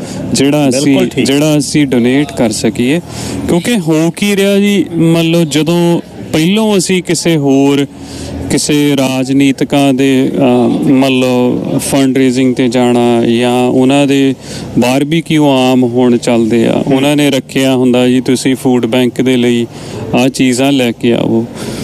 ਪਰ ਕਿਤੇ ਨਾ ਕਿਤੇ ਸ਼ਾਇਦ ਜਿਹੜਾ ਉਹਦਾ ਸਹੀ ਪ੍ਰਚਾਰ ਤਾਂ ਇਹ ਬਣਦਾ ਵੀ ਤੁਸੀਂ ਤੁਸੀਂ ਇਹ ਗੱਲ ਕਮਿਟਮੈਂਟ ਕਰਕੇ ਜਾਓ ਵੀ ਤੁਸੀਂ ਦਿਆ ਕਰੋਗੇ। ਟੈਂਪਰੇਰੀ ਇੱਕ ਵਾਰੀ ਦੇਣ ਨਾਲ ਨਹੀਂ ਕੁਝ ਨਹੀਂ ਗੱਲ ਬਣਦੀ। ਪਰ ਓਵਰਆਲ ਬਹੁਤ ਇੱਕ ਇੱਕ ਦੁੱਖ ਦਾ ਹੀ ਆ ਜੀ ਇਹ ਮੰਜ਼ਰ ਮੈਨੂੰ ਇਹ ਲੱਗਦਾ ਹੈ ਗਗਨ ਬਈ ਇਹ ਵੀ ਹੁਣ ਇੱਕ ਮੁੱਦਾ ਨਾਲ ਹਰ ਰੋਜ਼ ਸੁਨੇਹਾ ਦੇਣਾ ਪੈਣਾ। ਬਈ। ਚਲੋ ਜਿਹੜੇ ਲਾਈਨ 'ਚ ਲੱਗ ਉਹਨਾਂ ਲਈ ਤਾਂ ਅਸੀਂ ਕੁਝ ਨਹੀਂ ਕਰ ਸਕਦੇ। ਕਿਉਂਕਿ ਕੋਈ ਉਹਨਾਂ ਨੌਕਰੀ ਉਹਨਾਂ ਦੇ ਕਾਰਨ ਕੱਲੇ ਕੱਲੇ ਦੇ ਅਲੱਗ-ਅਲੱਗ ਹੋ ਸਕਦੇ ਨੇ। ਪਰ ਐਟਲੀਸਟ ਫੂਡ ਬੈਂਕ ਤਾਂ ਭਰਦੀ ਹੈ ਬਿਲਕੁਲ ਤਾਂ ਜੀ ਹੋਵੇ ਵੀ ਅੱਜ ਹੁਣ ਅੰਦਰ ਖਾਲੀ ਪਿਆ ਸਭ ਕੋਈ ਕੁਝ ਨਹੀਂ ਹੈ ਇਹ ਤਾਂ ਵਿਚਾਰੇ ਉਈਓ ਆ ਕੇ ਲਾਈਨ 'ਚ ਖੜਦੇ ਨੇ ਪੰਜ ਚਾਰ ਸੀਰੀਅਲਾਂ ਦੇ ਡੱਬੇ ਦੇਤੇ ਦੋ ਬ੍ਰੈਡ ਦੇ. ਲੋਫ ਦੇਤੇ Right. ਆ ਹੁਣ ਕੋਈ ਆਪਣੇ ਲੋਕਲ ਫਰੂਟ ਦੇ ਕੇ ਗਿਆ ਸੀ ਉਹ ਦੇਤਾ ਹੈ ਨਹੀਂ ਖਾਣ ਤੇ ਆ ਪਤਾ ਨਹੀਂ ਹੁਣੇ ਵੀ ਸਰੀ ਫੂਡ ਬੈਂਕ ਦੀ ਇਹ ਜ਼ਰੂਰਤ ਭਾਈਚਾਰਾ ਸਰੀ ਦੇ ਵਿੱਚੋਂ ਕਿਵੇਂ ਪੂਰੀ ਕਰੇਗਾ ਤੇ ਇਹ ਤਾਂ ਮੈਨੂੰ ਲੱਗਦਾ ਜਿਵੇਂ ਕਿਉਂਕਿ ਤੁਸੀਂ ਜਿਹੜੇ ਰਾਹ 'ਚ ਨਹੀਂ ਜਾਂਦੇ ਤੁਹਾਨੂੰ ਪਤਾ ਨਹੀਂ ਲੱਗਦਾ ਵੀ ਇਹ ਰਾਹ ਇੰਨਾ ਔਖਾ ਹੈ। ਬਿਲਕੁਲ ਜਦ ਲੰਘੋਗੇ ਤਾਂ ਫਿਰ ਲੱਗਦਾ ਯਾਰ ਇਹ ਤਾਂ ਸੜਕ ਜਮਾਂ ਹੀ ਟੁੱਟੀ ਪਈ ਆ ਜਦ ਨਹੀਂ ਲੰਘਦੇ ਹੁਣ ਆਪਾਂ ਅੱਜ ਫਸਟ ਹੈਂਡ ਮਹਿਸੂਸ ਕਰ ਰਹੇ ਹਾਂ ਦੋਨੇ ਬੈਠੇ ਲਾਈਵ ਔਨ ਲੋਕੇਸ਼ਨ ਤੇ ਕਿ ਯਾਰ ਇਹ ਤਾਂ ਇਹ ਤਾਂ ਸਮਥਿੰਗ ਸੀਰੀਅਸ ਸੱਚ ਕਵਾਂ ਜੀ ਇੱਕ ਤਾਂ ਗੁਰਬਾਣੀ ਦੀ ਪੰਕਤੀ ਆ ਜਿਹਦੇ ਕਰਕੇ ਸਾਡੀਆਂ ਜੇ ਪ੍ਰਾਪਤੀਆਂ ਦੇ ਪੱਖੋਂ ਦੇਖੀਏ ਉਹ ਕਈ ਤਾਂ ਗੁਰੂ ਸਾਹਿਬ ਦੇ ਤੱਕ ਪਹੁੰਚ ਕਰ ਲਈ ਆ।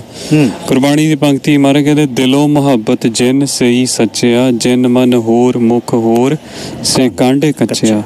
ਸੋ ਕਿਤੇ ਨਾ ਕਿਤੇ ਇਸ ਲੈਵਲ ਤੇ ਸਾਨੂੰ ਆਉਣਾ ਪਊਗਾ ਵੀ ਅਸੀਂ ਦਿਲੋਂ ਇਹਦੇ ਲਈ ਤਤਪਰ ਹੋਈਏ ਨਾ ਕਿ ਕੋਈ ਆਪਣੀ ਮਸ਼ਹੂਰੀ ਕਰਨ ਦੇ ਲਈ। ਬਿਲਕੁਲ ਜਾਂ। ਕੋਈ ਉਹਦੇ ਵਿੱਚੋਂ ਕੋਈ ਲੈਟਸ ਸੇ ਜੇ ਤੁਸੀਂ ਤੁਸੀਂ ਫੂਡ ਬੈਂਕ ਦੇ ਲਈ ਜੇ ਤੁਸੀਂ ਕੁਝ ਇਕੱਠਾ ਕਰ ਲੱਗ ਪਏ ਤਾਂ ਜੇ ਤੁਸੀਂ ਮੰਨ ਲਓ ਉਹਦੇ ਵਿੱਚ ਤੁਹਾਡੀ ਕੋਈ ਹੋਰ ਤਰ੍ਹਾਂ ਦੀ ਕੋਈ ਭੁੱਖ ਹੈਗੀ ਆ ਕਿਸੇ ਵੀ ਤਰ੍ਹਾਂ ਦੀ ਚਾਹੇ ਉਹ ਰਾਜਨੀਤਿਕ ਆ ਚਾਹੇ ਉਹ ਫਾਈਨੈਂਸ਼ੀਅਲ ਆ ਸ਼ਾਇਦ ਇਸੇ ਕਰਕੇ ਕੋਈ ਬਹੁਤਾ ਜ਼ਿਆਦਾ ਨਹੀਂ ਆਉਂਦਾ। ਗਗਨਦੀਪ ਸਿੰਘ ਚੌਹਾਨ ਆਪਣੇ ਪ੍ਰੋਗਰਾਮ ਸੁਣਦੇ ਨੇ ਇੰਡੀਅਨ ਐਪਲਸ ਬਿਜ਼ਨਸਮੈਨ ਨੇ। ਉਹ ਕਹਿੰਦੇ ਯਾਰ ਇਹ ਇਸ ਇਹ ਦੇਸ਼ ਹੈ ਸਰਕਾਰ ਹੈ। ਕਹਿੰਦੇ ਅਮਰੀਕਾ ਕਿੱਡਾ ਵੱਡਾ ਦੇਸ਼ ਆ ਸਾਡੇ ਸਕੂਲਾਂ ਦੇ ਵਿੱਚ ਗਰਮ ਬ੍ਰੈਕਫਾਸਟ ਹੈ ਤੇ ਗਰਮ ਲੰਚ ਆ ਸਾਰੇ ਬੱਚਿਆਂ ਲਈ। ਬਿਲਕੁਲ।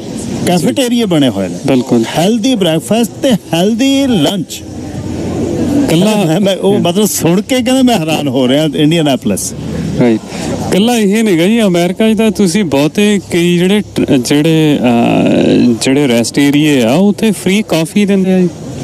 Even summer holidays they serve lunches to everyone under the age of 18 18 ਹਾਂਜੀ। ਘਰੇ ਹਾਂਜੀ। ਕਮਾਲ ਹੋ ਗਈ। ਘਰ ਵੀ ਦਿੰਦੇ ਆ ਤੇ ਉੱਥੇ ਵੀ ਆ। ਫੂਡ ਸਟੈਂਪਸ ਜਿਹੜੀਆਂ ਉੱਥੇ ਮਿਲਦੀਆਂ ਆ ਉਹਦੇ ਤੋਂ ਫੂਡ ਦਿੰਦੇ ਆ ਉਹ ਤੁਹਾਨੂੰ ਬਕਾਇਦਾ ਪਰ ਉੱਥੇ ਇਸ ਢੰਗ ਦੇ ਨਾਲ ਨਹੀਂ ਹੁੰਦਾ। ਸੋ ਮੈਨੂੰ ਲੱਗਦਾ ਸਾਨੂੰ ਇਹ ਸਮਝਣਾ ਪਊਗਾ। ਘੱਟੋ ਘੱਟ ਜੇ ਅਸੀਂ ਆਪਣੀ ਵੇਸਟੇਜ ਵਾਲੇ ਪਾਰਟ ਨੂੰ ਹੀ ਦੇਖ ਲਈਏ ਨਾ। ਬਿਲਕੁਲ ਜੀ। ਮੈਂ ਬਿਨਾ ਕਿਸੇ ਦੇ ਘਰ ਦੇਖਿਆ ਕਿਉਂਕਿ ਮੈਂ ਤਾਂ ਆਪਣੇ ਆਪਣੇ ਤੋਂ ਦੇਖ ਕੇ ਸ਼ੁਰੂ ਕਹਿ ਕਰਨੀ ਸਕਦਾ। ਪਊਗੀ ਇਹ ਤਾਂ। ਅੱਜ ਤੋਂ ਜਿੰਨਾ- ਸ਼ੁਰੂ ਕਰਨੀ। ਜਿੰਨਾ ਸਾਡੇ ਬੱਚੇ ਫੂਡ ਨੂੰ ਗਾਰਬੇਜ ਕਰਦੇ ਆ। ਬਿਲਕੁਲ। ਮੰਨ ਲਓ ਪਲੇਟ ਭਰ ਕੇ ਲੈ ਲਈ ਉਹਦੇ ਵਿੱਚੋਂ ਸਾਡੇ ਤਾਂ ਵੈਸੇ ਹੀ ਕਨਸੈਪਟ ਹੈ ਨਹੀਂਗਾ ਝੂਠ ਛੱਡਣ ਦਾ। ਨਾ ਜੀ ਸਾਡੇ ਲੰਗਰ 'ਚ. ਸਾਡੇ ਬੈਂਕਟ ਹਾਲਸ ਦੇ ਵਿੱਚ ਦੇਖ ਲਓ. ਕਿਵੇਂ ਕਿਵੇਂ ਕਿਵੇਂ ਟਨਾਂ ਦੇ ਹਿਸਾਬ ਨਾਲ ਵੇਸਟੇਜ ਆ ਮਤਲਬ ਜੇ ਉਹ ਤੁਸੀਂ ਘਟਾ ਕੇ ਉਹੀ ਚੀਜ਼ਾਂ ਦੇ ਖਰਚੇ ਘਟਾ ਕੇ ਇੱਥੇ ਸਾਂਝੇ ਕੰਮ ਦੇ ਵਿੱਚ ਬੈਸਟ ਤਾਂ ਇਹ ਆ ਵੀ ਜਦ ਹਫ਼ਤੇ ਦੀ ਗਰੋਸਰੀ ਕਰਨ ਜਾਓ ਇੱਕ ਬੈਗ ਆਪਣਾ ਇਹਨਾਂ ਲਈ ਲੈ ਕੇ ਆਓ। ਸਭ ਤੋਂ ਬੈਸਟ ਆ ਦੇਖੋ ਪਾਤਸ਼ਾਹ ਨੇ ਸਾਨੂੰ ਸਮੇਂ ਦਾ ਤੇ ਹਰ ਤਰ੍ਹਾਂ ਦਾ ਦਸਵੰਧ ਕੱਢਣ ਲਈ ਕਿਹਾ ਆ। ਮਤਲਬ ਜਦੋਂ ਤੁਸੀਂ ਦਸਵੰਧ ਕੱਢਦੇ ਆ ਗੁਰੂ ਪਾਤਸ਼ਾਹ ਤੁਹਾਨੂੰ ਕੋਈ ਕਮੀ ਨਹੀਂ ਆਉਣ ਦਿੰਦੇ ਕਦੇ ਕਿਸੇ ਵੀ ਪਾਸਿਓਂ ਤੁਸੀਂ ਕਿਤੇ ਕਿਤੇ ਰਹਿ ਨਹੀਂ ਸਕਦੇ ਇੱਕ ਮੀਟਿੰਗ ਜੀ ਤੁਸੀਂ ਸੁਨੇਹਾ ਦੇਣਾ ਚਾਹੁੰਦੇ ਜਨਰੇਟਰ ਟਰੱਕਰਸ ਐਸੋਸੀਏਸ਼ਨ ਦਾ ਉਹ ਵੀ ਦੇ ਜੋ ਮੈਂ ਜੀ ਸੋਚ ਕੇ ਦਾ ਕੁਝ ਹੋ ਰਿਹਾ ਸੀ ਹਾਂ। ਪਰ ਮੈਂ ਕੋਈ ਅੱਜ ਲਫ਼ਜ਼ ਨਹੀਂ ਸਿਰਫ ਇੰਨਾ ਹੀ ਕਹਿਣਾ ਵੀ ਇਹ ਮੀਟਿੰਗ ਦੇ ਵਿੱਚ ਵੀ ਅਸੀਂ ਆ ਇਹ ਦੇ ਬਾਰੇ ਹੁਣ ਜੀ। ਸਾਰਿਆਂ ਨਾਲ ਗੱਲ ਕਰਾਂਗੇ ਸੱਦਾ ਤਾਂ ਨਹੀਂ ਦੇ ਸਕਦੇ ਵੀ ਉੱਥੇ ਤੁਸੀਂ ਲੈ ਕੇ ਆਓ ਪਰ ਜੇ ਕੋਈ ਵੀ ਲੈ ਕੇ ਆਉਣਾ ਚਾਹਵੇ ਨਿੱਜੀ ਤੌਰ ਤੇ ਅਸੀਂ ਜ਼ਰੂਰ ਸੰਭਾਲਾਂਗੇ ਮੀਟਿੰਗ ਆਉਣ ਵਾਲੇ ਸ਼ਨੀਚਰ ਆਉਣ ਵਾਲੇ ਪਰਸੋਂ ਨੂੰ ਐਤਵਾਰ ਨੂੰ। ਆ, ਸਾਢੇ 11 ਵਜੇ ਗ੍ਰੈਂਡ ਤਾਜ ਦੇ ਵਿੱਚ ਆ। ਸੋ ਪਰ ਸ਼ਾਇਦ ਸਾਡਾ ਦੁੱਖ ਬਹੁਤ ਛੋਟਾ ਆ ਇਹਦੇ ਇਹਦੇ ਬਰਾਬਰ। ਸੋ ਉਹ ਇਸ਼ੂਜ਼ ਕੀ ਨੇ ਹੁਣ ਲੇਟਲੈਸ ਇਸ਼ੂ ਤਾਂ ਜੀ ਜਿਹੜੇ ਪੁਰਾਣੇ ਚੱਲਦੇ ਗਿਲ ਸਾਹਿਬ ਉਹ ਮੈਂ ਸੱਚ ਕਹਾਂ ਅੱਜ ਅੱਜ ਨਹੀਂ ਗੱਲ ਹੋਣੀ। ਅਸੀਂ ਅਸੀਂ ਕਿਉਂਕਿ ਉਹ ਤੁਹਾਨੂੰ ਉਸ ਲਹਿਜੇ 'ਚ ਪਹਿਲੋਂ ਆਉਣਾ ਪੈਣਾ। ਹਾਂ ਹਾਂ। ਮੰਨ ਲਓ ਅੱਜ ਤਾਂ ਸਾਡਾ ਤਾਂ ਦੁੱਖ ਹੀ ਕੁਛ ਨਹੀਂਗਾ। ਮੈਂ ਮੰਨ ਲਓ ਜਦੋਂ ਤੁਸੀਂ ਇੱਥੇ ਦੇਖ ਆਇਆ ਗਗਨ ਸਵੇਰੇ ਅੱਜ ਤੇ ਮੈਂ ਬਾਹਰ ਖੜਾ ਉੱਥੇ ਗੱਡੀ ਖੜਾ ਲਈ ਤੇ ਮੈਂ ਲਾਈਨ ਵੇਖੀ। ਮੈਂ ਗੱਡੀ ਚੋਂ ਉਤਰ ਨਾ ਸਕੀ ਕਿਉਂਕਿ ਆਪਣੇ ਭਾਈਚਾਰੇ ਦੇ ਕੁਝ ਬੰਦੇ ਖੜੇ ਸੀ। ਮੈਂ ਯਾਰ ਇਹਨਾਂ ਨੇ ਨਾ ਮੈਂ ਇਹਨਾਂ ਨੂੰ ਦੇਖਣਾ ਦੇਖ ਸਕਣਾ ਨਾ ਇਹਨਾਂ ਨੇ ਮੈਨੂੰ ਦੇਖਣਾ ਵੀ ਦੁੱਖ ਦੀ ਕਹਾਣੀ। ਸਿੱਖ ਤੇ ਲਾਈਨ ਦੇ ਵਿੱਚ ਕੁਝ ਮੰਗਣ ਲਈ ਮੇਰੀ ਜ਼ਿੰਦਗੀ ਦੇ ਵਿੱਚ ਆਪਾਂ ਤਾਂ ਜ਼ਿੰਦਗੀਆਂ ਖਰਾਤਾਂ ਤੇ ਨਹੀਂ ਮੰਗੀਆਂ ਜਦ ਅਸੀਂ ਦੁਸ਼ਮਣ ਦੇ ਸਿਰ. ਚੜ ਕੇ ਬੋਲੇ ਉਹ ਕਹਿੰਦਾ ਵੀ ਜਾਂ ਸ਼ਹੀਦੀ ਆ ਤੇ ਜਾਂ ਈਨ ਉਹ ਕਹਿੰਦਾ ਵੀ ਲਿਆ। ਟੋਕਾ ਜਿਹੜਾ ਤੂੰ ਪੋਟੇ ਤੋਂ ਸ਼ੁਰੂ ਕਰ ਬੰਦ ਬੰਦ. ਇਹ ਨਹੀਂ ਚੁੱਕ ਸਕਦੇ ਬਿਲਕੁਲ ਪਰ ਮੈਂ ਤਾਂ ਹੈਰਾਨ ਹੋ ਗਿਆ ਇਹ ਤਾਂ ਬਹੁਤ ਅਲੱਗ ਕਿਸਮ ਦੀ ਕਹਾਣੀ ਹੈ ਤੇ ਇਹਦੇ ਤੇ ਹੁਣ ਆਪਾਂ ਨੂੰ ਸ਼ੁਰੂ ਕਰਾਂਗੇ ਰੱਬ ਸੁੱਖ ਰੱਖੇ ਹਰ ਰੋਜ਼ ਇਹ ਸੁਨੇਹਾ ਦੇ ਕੇ ਵੀ। ਅਸੀਂ ਲੋ ਉਹ ਤਾਂ ਨਹੀਂ ਰੋਕ ਸਕਦੇ ਵੀ ਕੌਣ ਲਾਈਨ 'ਚ ਖੜੇ ਪਰ ਇਹ ਜ਼ਰੂਰ ਕਰ ਦਿਆਂਗੇ ਵੀ ਫੂਡ ਬੈਂਕ ਭਰੀ ਹੋਵੇ ਬਿਲਕੁਲ ਜੀ ਹਾਂ। ਬਿਲਕੁਲ ਬਿਲਕੁਲ। ਕਿਉਂਕਿ ਜੇ ਅਸੀਂ ਛੋਟੀਆਂ ਛੋਟੀਆਂ ਚੀਜ਼ਾਂ ਚੋਂ ਨਿਕਲ ਕੇ, ਮਤਲਬ ਇਹ, ਇਸ, ਇਹ ਸਾਡੇ ਲਈ ਕੋਈ ਬਹੁਤੀ ਵੱਡੀ ਕੋਈ ਗੱਲ ਨਹੀਂ ਅਸੀਂ ਪ੍ਰਾਪਤੀਆਂ ਕਰ ਸਕਦੇ। ਤੁਸੀਂ ਇਹ ਦੇਖੋ ਵੀ ਗੁਰਦੁਆਰਾ ਸਾਹਿਬ ਮੈਂ ਆਪ ਦੇਖਦਾ ਰਿਹਾ ਵੀ ਇੱਕ ਸਮਾਂ ਆ ਗਿਆ ਸੀ ਜਦੋਂ ਮਿੰਤਾਂ ਕਰਨੀਆਂ ਪੈ ਗਈਆਂ ਵੀ ਭਾਈ ਆਟਾ ਹੋਰ ਨਾ ਕਿ ਹੋਰ ਨਾ ਲੈ ਕੇ ਆਓ ਹੁਣ ਨਾ ਲਿਆਇਓ। ਹਾਂ ਬਿਲਕੁਲ ਠੀਕ ਹੈ ਕਈ ਵਾਰੀ ਰੱਖਣ ਨੂੰ ਜਗ੍ਹਾ ਨਹੀਂ ਹੁੰਦੀ। ਅੱਜ ਤੱਕ ਵੀ ਮੰਨ ਲਓ ਬਹੁਤ ਸਾਰਾ ਸਮਾਨ ਆ। ਈਵਨ ਗੁਰਦੁਆਰਾ ਸਾਹਿਬ ਨਾਲ ਵੀ ਗੱਲ ਕਰਕੇ ਕੁਝ ਇੱਕ ਚੀਜ਼ਾਂ ਇਹੋ ਜਿਹੀਆਂ ਹੁੰਦੀਆਂ ਜਿਹੜੀਆਂ ਜਿਹੜੀਆਂ ਕਾਫੀ ਉੱਥੇ ਵਾਧੂ ਹੁੰਦੀਆਂ। ਆਪਾਂ ਉਹ ਵੀ ਡਿਲੀਵਰ ਕਰ ਸਕਦੇ ਆ ਪਰ ਜੇ ਜੇ ਇਨ ਜਨਰਲ ਟੋਟੈਲਿਟੀ ਚ ਦੇਖੀਏ ਤੇ ਸਾਨੂੰ ਵੰਡ ਕੇ ਛਕਣ ਦਾ ਜਿਹੜਾ ਕਨਸੈਪਟ ਆ ਉਹ ਸ਼ਾਇਦ ਅੱਜ ਉਹਦੀ ਇੱਕ ਜਿਹੜੀ ਡੈਫੀਨੇਸ਼ਨ ਆ, ਉਹ ਇਸ ਮੁਲਕ ਦੇ ਵਿੱਚ ਆ ਕੇ ਬਦਲ ਗਈ ਆ। ਸਾਨੂੰ ਉਹਦੇ ਸਾਨੂੰ ਉਹਦੇ ਅਕੋਰਡਿੰਗਲੀ ਸਾਨੂੰ ਬਦਲਣਾ ਪਊਗਾ। ਜੇ ਅਸੀਂ ਇਹ ਸੋਚਦੇ ਹਾਂ ਵੀ ਅਸੀਂ ਕਿਉਂਕਿ ਮੈਂ ਬਿਜ਼ਨਸ ਕਰਕੇ ਦੇਖਦਾ ਜੀ ਵੀ ਜਦੋਂ ਵੀ ਕਿਸੇ ਵੀ ਪਰਿਵਾਰ ਦਾ ਕੋਈ ਜੀ ਪਿੱਛੇ ਕੋਈ ਕਿਸੇ ਦੇ ਵਿਆਹ ਆ ਗਿਆ, ਕਿਸੇ ਦੇ ਕੁਝ ਵੀ ਹੋ ਗਿਆ, ਕੋਈ ਬਿਮਾਰ ਹੋ ਗਿਆ, ਕਿਸੇ ਦੇ ਸੱਟ ਲੱਗ ਗਈ ਹਰ ਕੋਈ ਅਸੀਂ ਮਦਦ ਕਰਦੇ ਆ ਗੁਰਦੁਆਰਾ ਸਾਹਿਬ ਜਦੋਂ ਅਸੀਂ ਜਾਣਾ ਆ, ਹਰ ਸਿੱਖ ਦਾ ਕਈ ਵਾਰੀ ਬਹੁਤੀ ਵਾਰੀ ਦਿਲੀ ਤਮੰਨਾ ਹੁੰਦੀ ਵੀ ਅਸੀਂ ਕੁਛ ਨਾ ਕੁਛ ਜਿਹੜੀ ਆ ਖਾਣ ਦੇ ਲਈ ਕੋਈ ਚੀਜ਼ ਲੈ ਕੇ ਜਾਈਏ। ਪਰ ਜੇ ਆ ਦੇਖੀਏ ਆ ਤਾਂ ਮੈਨੂੰ ਲੱਗਦਾ ਵੀ ਸ਼ਾਇਦ ਗੁਰੂ ਸਾਹਿਬ ਕਿਰਪਾ ਕਰਨ ਸਾਡੇ। ਸਾਰਿਆਂ ਤੇ। ਅਸੀਂ ਜਿਹੜਾ ਇਹ ਸ਼ੁਰੂਆਤ ਇਹਨੂੰ ਅੱਗੇ ਤੱਕ ਲੈ ਕੇ ਜਾਈਏ ਤਾਂ ਜੋ ਤਾਂ ਜੋ ਅਸੀਂ ਇਹਨੂੰ ਹੋਰ ਇੱਕ ਅਗਲੇ ਸਟੈਪ ਤੇ ਲੈ ਕੇ ਆਈਏ। ਤੇ 11:30 ਵਜੇ ਹੋ ਰਹੀ ਹੈ ਗ੍ਰੈਂਡ ਤਾਜ 'ਚ ਹਾਂਜੀ। ਗ੍ਰੈਂਡ ਤਾਜ 'ਚ ਯੂਨਾਈਟਿਡ ਟਰੱਕਰਸ ਐਸੋਸੀਏਸ਼ਨ ਦੀ ਇੱਕ ਮੀਟਿੰਗ ਆ ਜੀ। ਬੜੀ ਖਾਸ ਮੀਟਿੰਗ ਆ। ਸਾਰੇ ਜਿੰਨੇ ਮੈਂਬਰ ਹੋ ਜਰੂਰ ਭੇਜਿਓ। ਆਇਓ ਸਾਰੇ ਤੇ ਗੱਲਾਂ ਬਾਤਾਂ ਉੱਥੇ ਕਰਨਗੇ। ਤੇ ਧੰਨਵਾਦ ਆਉਣ ਦਾ ਤੇ ਗੱਲਬਾਤ ਕਰਨ ਦਾ। ਵਾਹਿਗੁਰੂ ਜੀ ਕਾ ਖਾਲਸਾ। ਵਾਹਿਗੁਰੂ ਜੀ ਕੀ ਫਤਿਹ। ਛੋਟੇ ਵੀਰ ਗਗਨ ਸਿੰਘ ਹੋਣੀ ਆਏ ਸੀ ਪੰਜਾਬ ਫੋਰੈਕਸ ਤੋਂ ਤੇ ਗੱਲਬਾਤ ਆਪਾਂ ਕੀਤੀ ਹੈ ਵਿਸਰੀ ਫੂਡ ਬੈਂਕ ਦੀ ਮੁਸ਼ਕਲਾਂ ਦੀ। ਵਪਾਰਕ ਸੰਦੇਸ਼ਾਂ ਤੋਂ ਬਾਅਦ ਵਾਪਸ ਆਉਣੇ ਸਰੀ ਫੂਡ ਬੈਂਕ ਨੂੰ ਕਹਿ ਕੇ ਬਾਹਰਲੇ ਬੰਨੇ ਜਿੱਥੇ ਸਾਡਾ ਟੈਂਟ ਲੱਗਿਆ ਥੋੜੀ ਡੋਨੇਸ਼ਨ ਦੇ ਲਈ ਵੀ ਰੱਖ ਦਿੱਤਾ ਹੈ ਕ੍ਰੈਡਿਟ ਕਾਰਡ ਤੇ ਕੈਸ਼ ਲਈ। ਜਿਹੜੇ ਵੀ ਨੇੜੇ ਹੋ ਤੁਸੀਂ, ਗਗਨ ਸਿੰਘ ਆਪਣਾ ਹਿੱਸਾ ਪਾ ਕੇ ਗਏ ਨੇ। ਤੇ ਹੋਰ ਇੱਕ ਭਾਈ ਸਾਹਿਬ ਆਏ ਨੇ ਭੈਣ ਜੀ ਦੋਨੇ ਹੀ। ਤੇ ਦੁੱਖ ਨੂੰ ਤੁਸੀਂ ਮਹਿਸੂਸ ਕਰ ਸਕਦੇ ਹੋ। ਤੁਹਾਡੇ ਦੁੱਖ ਬੌਣੇ ਲੱਗਦੇ ਆ ਜਦ ਤੁਸੀਂ ਕਿਸੇ ਨੂੰ ਮਿਲਦੇ ਹੋ। ਕੱਖ ਵੀ ਨਹੀਂ ਲੱਗਦਾ। ਤੁਹਾਨੂੰ ਤੁਹਾਨੂੰ ਲੱਗਦਾ ਹੈ ਕਿ ਨਹੀਂ ਨਹੀਂ, ਮੈਂ ਬਹੁਤ ਔਖਾ, ਕਾਹਨੂੰ ਤੁਸੀਂ ਔਖੇ ਹੋ? ਜਿਹੜੇ ਤੁਰਦਾ ਫਿਰਦਾ ਨੌਕਰੀ ਹੈ, ਘਰ 'ਚ ਸੁੱਖ ਸ਼ਾਂਤੀ ਹੈ ਜੀਆਂ ਦੀ ਤੰਦਰੁਸਤੀ ਹੈ, ਉੱਥੇ ਦੁੱਖ ਨਹੀਂ ਹੈ। ਉਹਨੂੰ ਤੁਸੀਂ ਦੁੱਖ ਨਹੀਂ ਕਹਿ ਸਕਦੇ। ਆ ਪਰਿਵਾਰ ਆਪਣੇ ਕੋਲ ਆਇਆ, ਭੈਣ ਜੀ, ਪ੍ਰੋਗਰਾਮ ਆਪਣਾ ਸੁਣਦੇ ਨੇ, ਭਾਵੁਕ ਹੋ ਗਏ। ਪਹਿਲੀ ਵਾਰ ਅਸੀਂ ਮਿਲੇ ਤੇ ਅੱਖਾਂ 'ਚ ਉਹਨਾਂ ਦੇ ਹੰਝੂ ਸੀ। ਕਹਿੰਦੇ, ਪਿਛਲੇ ਸਾਲ ਮੇਰਾ ਪੁੱਤਰ 36 ਸਾਲ ਦਾ ਤੇ ਉਹ ਪੂਰਾ ਹੋ ਗਿਆ। ਕੁਛ ਖਾਂਦਾ ਨਹੀਂ ਸੀ ਕੋ ਪੀਂਦਾ ਨਹੀਂ ਸੀ ਉਹ ਅਹ, ਤੇ ਬਿਲਕੁਲ ਗੁਰਸਿੱਖ ਜਿਹੜਾ ਸੀ। ਤੇ ਬਸ ਸਡਨ ਕੁਛ ਐਸਾ ਜਿਹਾ ਹੋਇਆ ਤੇ ਉਹ ਸਾਨੂੰ ਛੱਡ ਕੇ ਤੁਰ ਗਿਆ। ਕੁਛ ਵੀ ਨਹੀਂ ਹੈ ਜਿਹੜਾ ਜਿਹੜਾ ਦੁੱਖ ਹੈ ਉਹ ਜਦ ਤੁਸੀਂ ਮਹਿਸੂਸ ਕਰੋਗੇ ਆ ਕੇ ਮਿਲੋਗੇ ਤਾਂ ਫੇਰ ਫੇਰ ਫੇਰ ਫੇਰ ਦੁੱਖ ਦਾ ਪਤਾ ਲੱਗਦਾ ਵੀ ਦੁੱਖ ਕੀ ਹੈ। ਤੇ ਸੋ ਕਦੇ ਵੀ ਜ਼ਿੰਦਗੀ ਦੇ ਵਿੱਚ ਮਾਇੂਸ ਨਿਰਾਸ਼ ਹੋਣ ਦੀ ਲੋੜ ਨਹੀਂ। 네ਗੇਟਿਵ ਜਿਹੜਾ ਤਾਂ ਬਹੁਤ ਕੁਛ ਆ ਖਲਾ ਲੈਫਟ ਪਾਸੇ ਬਹੁਤ ਕੁਝ ਪਿਆ ਹੋਊ ਜਿਹੜਾ ਹੈ ਨਹੀਂ।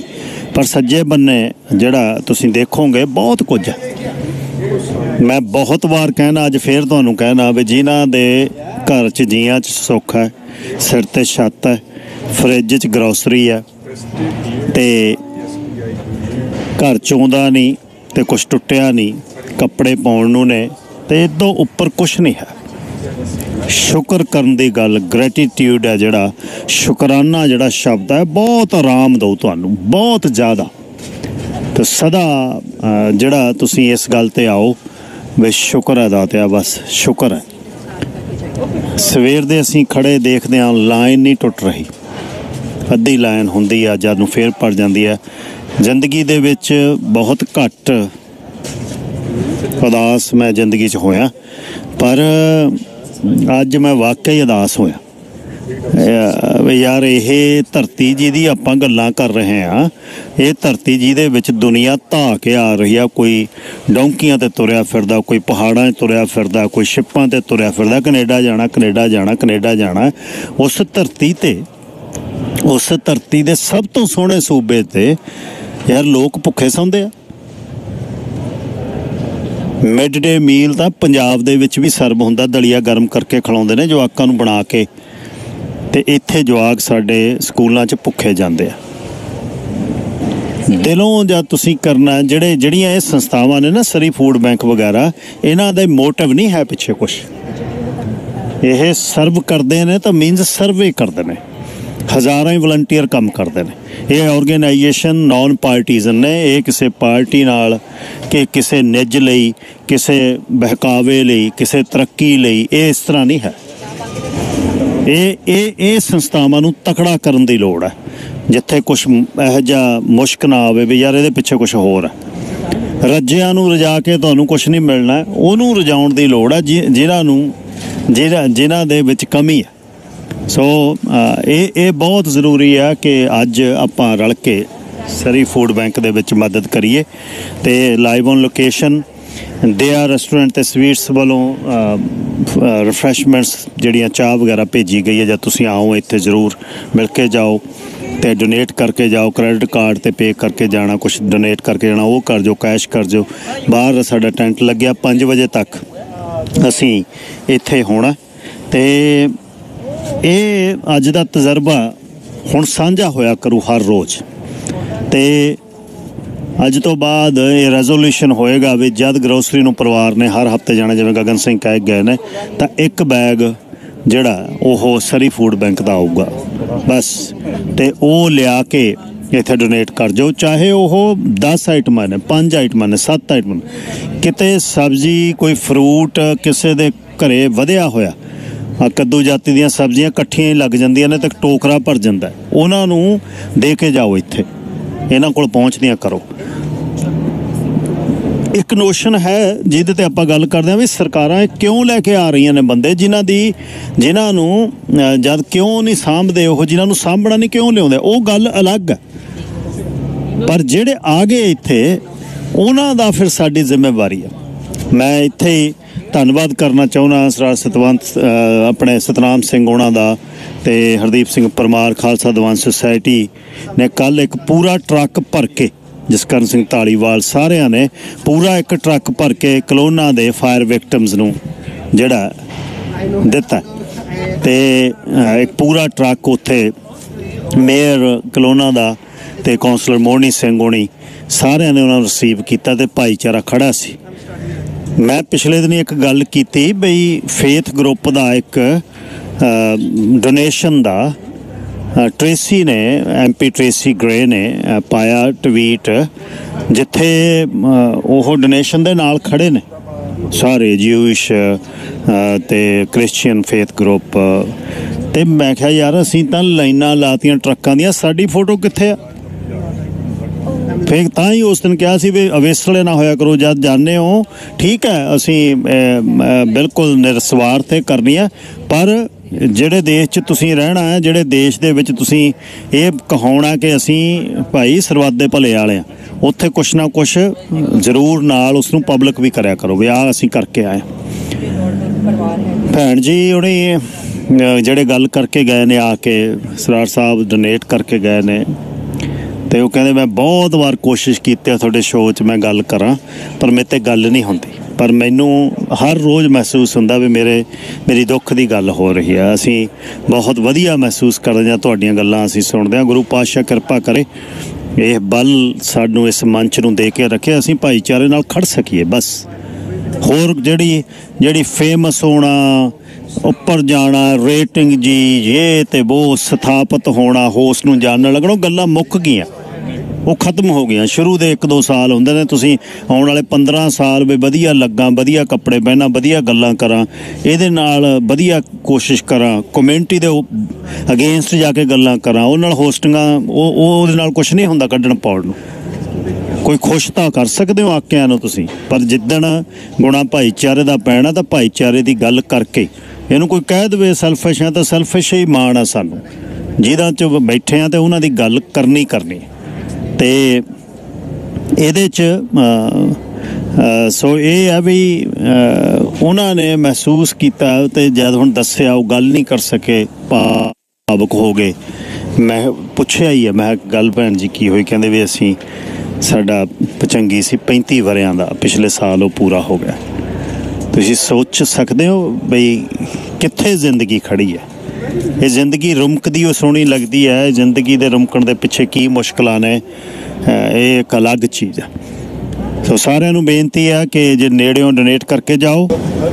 ਸਰੀ ਫੂਡ ਬੈਂਕ ਤੋਂ ਅਸੀਂ ਲਾਈਵ ਔਨ ਲੋਕੇਸ਼ਨ ਕਰ ਰਹੇ ਹਾਂ। ਮੇਰੇ ਤੋਂ ਬਾਅਦ ਸੁਖੀ ਉਹਨਾਂ ਦਾ ਸ਼ੋਅ ਹੈ। ਸੁਖੀ ਤੋਂ ਬਾਅਦ ਡਾਕਟਰ ਰਮਾਣਾ ਆਉਣਗੇ। 5 ਵਜੇ ਤੱਕ ਇੱਥੇ ਆ ਤੁਸੀਂ ਕੰਮਾਂ ਤੋਂ ਜਦ ਹਟਣਾ ਪਲੀਜ਼ ਜ਼ਰੂਰ ਡਰਾਈਵ ਬਾਈ ਕਰਕੇ ਜਾਇਓ। ਡੋਨੇਟ ਕਰਕੇ ਜਾਓ। ਤੇ ਵਲੰਟੀਅਰਸ ਇਸ ਦੇ ਵਿੱਚ ਬਹੁਤ ਕੰਮ ਕਰ ਰਹੇ ਨੇ ਹਮੇਸ਼ ਹੈ ਇੱਕ ਨੌਜਵਾਨ ਸਾਡਾ ਅਹ, ਜਿਹੜਾ ਇੱਥੇ ਦਾ ਜੰਪਲ ਹੈ ਪਰ ਚੰਡੀਗੜ੍ਹ ਸੇਂਟ ਸਟੀਵਨ ਚ ਪੜ੍ਹ ਕੇ ਆਇਆ ਉਮੇਸ਼ ਨਾਲ ਗੱਲ ਕਰਦੇ ਆ ਵੀ ਕਦ ਦਾ ਉਹ ਵਲੰਟੀਅਰ ਕਰ ਰਿਹਾ ਹੈ ਸਰੀ ਫੂਡ ਬੈਂਕ 'ਚ। Umesh thank you welcome to show thank you ਅੱਛਾ ਅ, ਪੁੱਤਰ ਦੱਸੋ ਕਦ ਦੇ ਤੁਸੀਂ ਵਲੰਟੀਅਰ ਕਰ ਰਹੇ ਹੋ ਇਹਦਾ मैं पेंडेमिक जब हुआ था उसके बाद ही स्टार्ट किया था 2020 में ਅੱਛਾ ਸੋ ਹੁਣ ਤੁਸੀਂ ਕਿੰਨੇ ਦਿਨ ਆਉਨੇ ਹੋ ਕਰਨ ਇੱਥੇ ਡੋਨੇਟ जब भी मैं मेरे को फ्री टाइम मिलता है स्केड्यूल से मेरे को पता है एक दो दिन मैं कर सकता हूँ यहाँ पे तो महीने में एक बार ही मैं कोशिश करता हूँ कि एक बार ये तो हो ही जाए ਅੱਛਾ ਤੇ ਫਿਰ ਤਜਰਬਾ ਕਿਹਾ ਜਾ ਐਕਸਪੀਰੀਅੰਸ ਕੀ ਹੈ ਸਰੀ ਫੂਡ ਬੈਂਕ 'ਚ ਕੰਮ ਕਰਨ ਦਾ बहुत अच्छा है यहाँ पे बहुत लोग आते हैं बहुत लोगों से मिलने के यू नो अपॉर्चुनिटी बहुत है और आसपास जो वॉल्टियर्स हैं उनसे भी बात होती है मिलना जुलना आता है बहुत अच्छा एक्सपीरियंस है यहाँ के लोग भी बहुत अच्छे हैं तो डिफरेंट डिफरेंट रोल्स होते हैं यहाँ पे जिनको ये जैसे सॉर्टिंग हो गया फूड डिस्ट्रीब्यूशन होगी इतने लोग रोल्स हैं यहाँ पे देने के लिए और वॉल्टियर्स इनको चाहिए तो अच्छा होता है यहाँ पे आने के लिए ਤੁਸੀਂ ਚੰਡੀਗੜ੍ਹ ਰਹਿ ਕੇ ਆਏ ਬਹੁਤ ਸਮਾਂ ਤੁਸੀਂ ਇਹ ਇਹਨੂੰ ਬੈਸਟ ਪਲੇਸ ਕਹਿੰਦੇ ਨੇ ਦੁਨੀਆ ਦੇ ਵਿੱਚ ਬੈਸਟ ਪਲੇਸ ਔਨ ਹਾਂਜੀ। ਅਰਥ ਇੱਕ ਕੰਟਰੀ ਬਹੁਤ ਗ੍ਰੇਟ ਹੈ ਪਰ ਅਮ, ਚੰਡੀਗੜ੍ਹ ਵੀ ਫੂਡ ਬੈਂਕ ਨਹੀਂ ਹੈ ਇੱਥੇ ਫੂਡ ਬੈਂਕ ਹੈ ਤੁਸੀਂ ਇਹਨੂੰ how you how you take it why people are getting in line and get food? Yeah. i think अभी बहुत पेंडेमिक के बाद काफ़ी लोगों की बहुत प्रॉब्लम आई है। बहुत प्रॉब्लम आई है हम्म। लोगों को। कई काफ़ी लोगों की यहाँ पे जॉब जाती है। हम्म। कई होते जो डिसेबिलिटी यू नो उनके कोई एक्सीडेंट हो जाता है। हम्म। Life यू नो उनका बहुत चेंज हो जाता है उस एक्सीडेंट की वजह से तो उनको कुछ ज़रूरत पड़ती है यहाँ पे वही लोग आते हैं जिनको बहुत ज़रूरत होती है इन खानों के और क्योंकि उनकी दिन के दिन जो डेली नीड्स होती है उसको वो पूरी sustain- नहीं हो रही। हाँ, पूरी नहीं होती तो वो मजबूरी की वजह से यहाँ पे आते हैं ਬਹੁਤ ਸੈਡ ਸਟੋਰੀਜ਼ ਵੀ ਆ ਲੋਕ हाँ जी ਤੇ ਫੂਡ ਮੈਂ ਤੁਹਾਡੇ ਮੈਨੇਜਰ ਨਾਲ ਗੱਲ ਕਰ ਰਿਹਾ ਸੀ ਵੀ ਪੈਂਡੈਮਿਕ ਤੋਂ ਪਹਿਲਾਂ ਸ਼ੈਲਫ ਸਾਰੀਆਂ ਫੁੱਲ ਸੀ ਹਾਂਜੀ। ਪੈਂਡੈਮਿਕ ਤੋਂ ਬਾਅਦ ਉਹ ਕਹਿੰਦੇ ਬਹੁਤ ਬਿਜ਼ਨਸ ਜਿਹੜੇ ਸਾਨੂੰ ਡੋਨੇਟ ਕਰਦੇ ਸੀ ਉਹ ਬੰਦ ਹੋ ਗਏ ਔਰ ਕਈ ਫੂਡ ਬੈਂਕ ਖੁੱਲ ਗਈਆਂ ਨਵੀਆਂ। ਹਾਂਜੀ। ਪਰ ਇੱਕੋ ਹੀ ਜਿਹੜੀ ਰਜਿਸਟਰਡ ਸਰੀ ਫੂਡ ਬੈਂਕ ਆ ਜਿਹੜੀ ਸ਼ਹਿਰ ਦੀ ਇੱਕੋ ਇੱਕ ਉਹ ਸਰੀ ਫੂਡ ਬੈਂਕ ਹਾਂਜੀ। ਤੇ ਫਿਰ ਕਿੰਨੇ ਘੰਟੇ ਕੰਮ ਕਰਦੇ ਹੋ ਤੁਸੀਂ? ਤੇ ਵੈਸੇ ਹੁਣ ਪੜ ਰਹੇ ਹੋ ਹਲੇ ਤੁਸੀਂ? ਹਾਂਜੀ। ਅੱਛਾ। तो वैसे तो चार घंटे की शिफ्ट्स होती हैं। अच्छा। मैनेजर से डिस्कस कर सकते हैं अगर तुम दो घंटे भी दे सकते हैं यहाँ पे वो बहुत है इनको क्योंकि वॉल्टियर्स चाहिए होते हैं क्योंकि ये पूरा वॉल्टियर रन है। सॉर्टिंग से पूरा फ़ूड डिस्ट्रीब्यूशन सारा कुछ ही वॉल्टियर्स ही काम कर जस्ट ड्रॉप इन जब भी टाइम हों फिर हाँ? आ जाना। हाँ जी इनका एक ऐप होता है उसके अच्छा। ऊपर अच्छा। रजिस्टर कर लो। अच्छा। और फिर आप आ सकते हैं यहाँ पे और वो आपको उसी टाइम पे जितने भी घंटे आपने करना है एक घंटा दो घंटा कर सकते हो। ਯੂਨਿਟ 1 ਹੈ ਜੀ 134 78 78 avenue Surrey food bank 1347878 avenue unit 1 ਦੇ ਉੱਪਰ ਅਸੀਂ ਸਾਰੇ ਆਏ ਹੋਏ ਆ ਹਮੇਸ਼ ਹੋਰ ਕੀ ਕਹਿਣਾ ਚਾਹੁੰਦੇ ਹੋ ਤਜਰਬਾ ਜਿਹੜਾ ਤੁਸੀਂ ਕੁਝ ਆਪਣਾ 2-3 ਸਾਲ ਦਾ मेरा जो how you experience- feel it मेरा जो एक्सपीरियंस है यहाँ पे कि बहुत अच्छी जगह है क्योंकि लोगों से बहुत मिलना जुलना मिलता है और हम्म। बहुत अच्छे लोग आते हैं तुमको हम्म। उनकी लाइफ की थोड़ी स्टोरी भी तुम घर से बांट के चले जाते हैं अच्छा लगता है। कंपैशन भी कंपैशन भी है बहुत लोग यू नो अच्छे हैं यहाँ पे। हम्म। वॉल्टियर्स भी अच्छे हैं ठीक है उनसे बात हो जाती है बहुत यू नो यंग भी होते हैं कोई बहुत बुज़ुर्ग भी होते हैं सारे यहाँ पे आते हैं। से कोई नहीं है कि बुज़ुर्ग नहीं आते या वो नहीं आते ऐसा सारे आते हैं और सबसे मिलना जुलना होता है तो बहुत अच्छा होता है। चंडीगढ़ मिस कर दें काफ़ी ਤੇ ਕਿੰਨੇ ਸਾਲ ਰਹੇ ਉੱਥੇ मैं वहीं पे ही हूँ पूरा जमा भी वहाँ पे हूँ हाँ सारा कुछ ਤੇ ਹੁਣ ਵੀ ਜਾਂਦੇ ਰਹਿੰਦੇ ਹੋ कोशिश होएगी दो तीन साल में देखते हैं still you want to go. हाँ, हाँ जाना तो चाहता हूँ okay Hamesh thank you Thank you. So much Thank you. Hamesh ਗੱਲ ਕਰ ਰਹੇ ਸੀ ਜਿਹੜੇ ਵਲੰਟੀਅਰ ਨੇ ਤੇ ਵਲੰਟੀਅਰ ਬੇਸਡ ਹੀ ਇਹ ਸਾਰੀ ਆਰਗੇਨਾਈਜੇਸ਼ਨ ਹੈ ਅਹ ਮੈਨੂੰ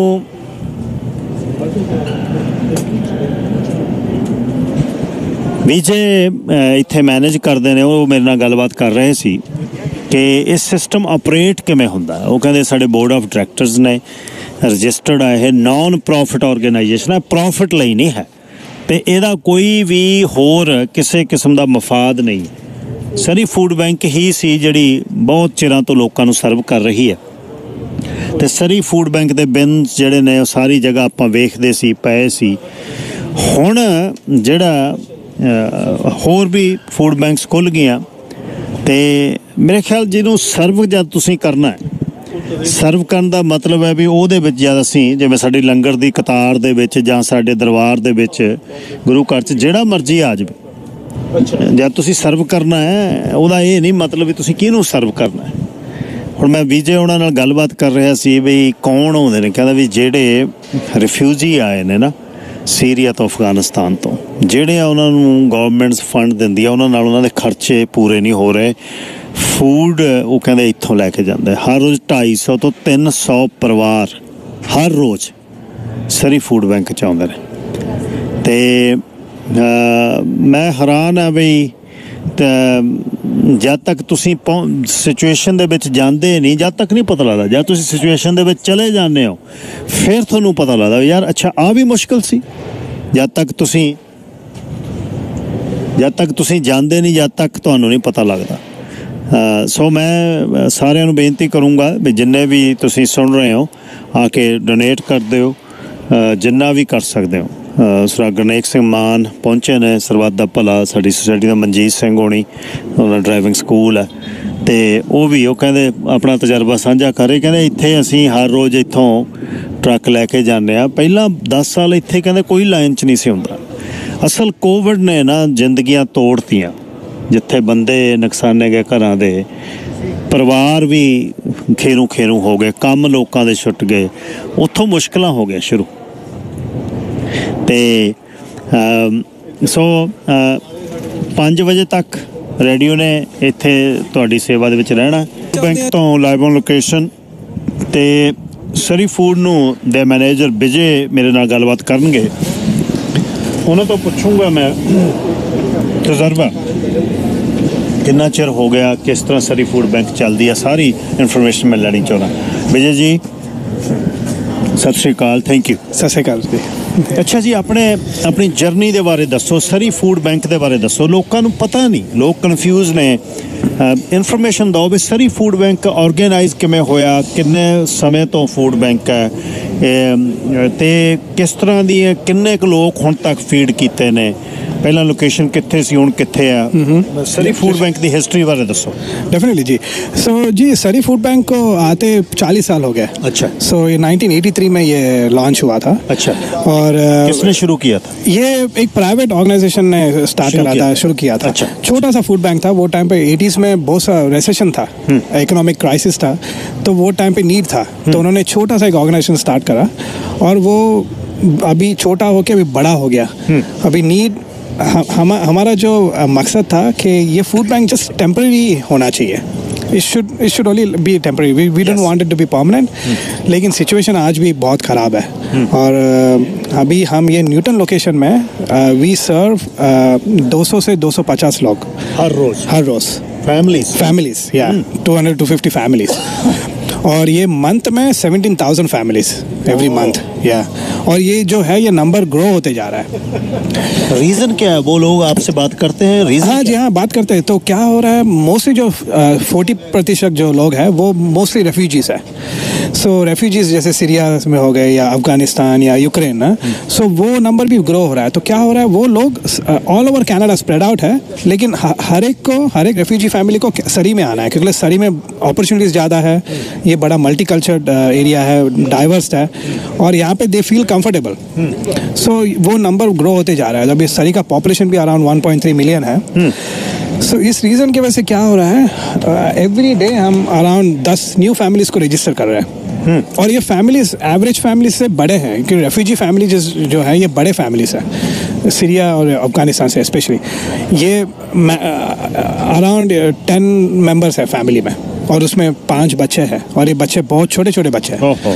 और ये ब- बड़े मतलब मासूम बच्चे इनको इन, इन, इनको पता नहीं है मतलब क्या हो रहा है ये वॉर वॉर ड्रिवन कंट्री से आ रहे हैं सो ये नंबर ग्रो होते जा रहा है और अभी हम इंटरनेशनल स्टूडेंट्स का भी परसेंटेज ऊपर जा रहा है so international students mostly from India Sri Lanka अपने बच्चे भी ब्राजील आ रहे अपने बच्चे भी आ रहे हैं हाँ क्योंकि उनको वहाँ जॉब नहीं मिल रहा ਅੱਛਾ ਵਿਜੇ ਜੀ ਪ੍ਰੋਸੈਸ ਕੀ ਹੈ ਅਹ, ਸਰੀ ਫੂਡ ਬੈਂਕ ਤੋਂ ਫੂਡ ਲੈਣ ਦੇ ਲਈ ਕੀ ਕਰਨਾ ਪੈਂਦਾ हाँ सो दो रिक्वायरमेंट है हमारे यहाँ यहाँ। सो एक पहला रिक्वायरमेंट है प्रूफ ऑफ़ रेसिडेंस सो ये जो फ़ूड बैंक है ये जो लोग जिनके पास रेंट मतलब रेंट पे घर है या ओन करें उन्हीं के लिए है। क्योंकि ये जो खाना हम यहाँ देते हैं ये खाना उनको किचन में जाके कुक करना कुक करने। सो इसलिए हम होमलेस लोगों को सर्व नहीं कर सकते। ओके सो वो पहला रिक्वायरमेंट है प्रूफ ऑफ़ रेसिडेंस दूसरा है proof of income So we have a threshold वो थ्रेशोल्ड अगर वो मीट कर पाए so they are eligible to get the food from the food bank ਤੇ ਫੂਡ ਜਿਹੜਾ ਆਪਾਂ ਡਿਲੀਵਰ ਕਰਦੇ ਆ ਉਹਦੇ ਵਿੱਚ ਕੀ ਕੀ ਹੈ ਸਭ ਕੁਝ ਜੋ ਗਰੋਸਰੀ ਹੈ हाँ बेसिकली everything? बेसिकली सब कुछ यहाँ सब कुछ तो वो स्टार्ट कैंड गुड्स हम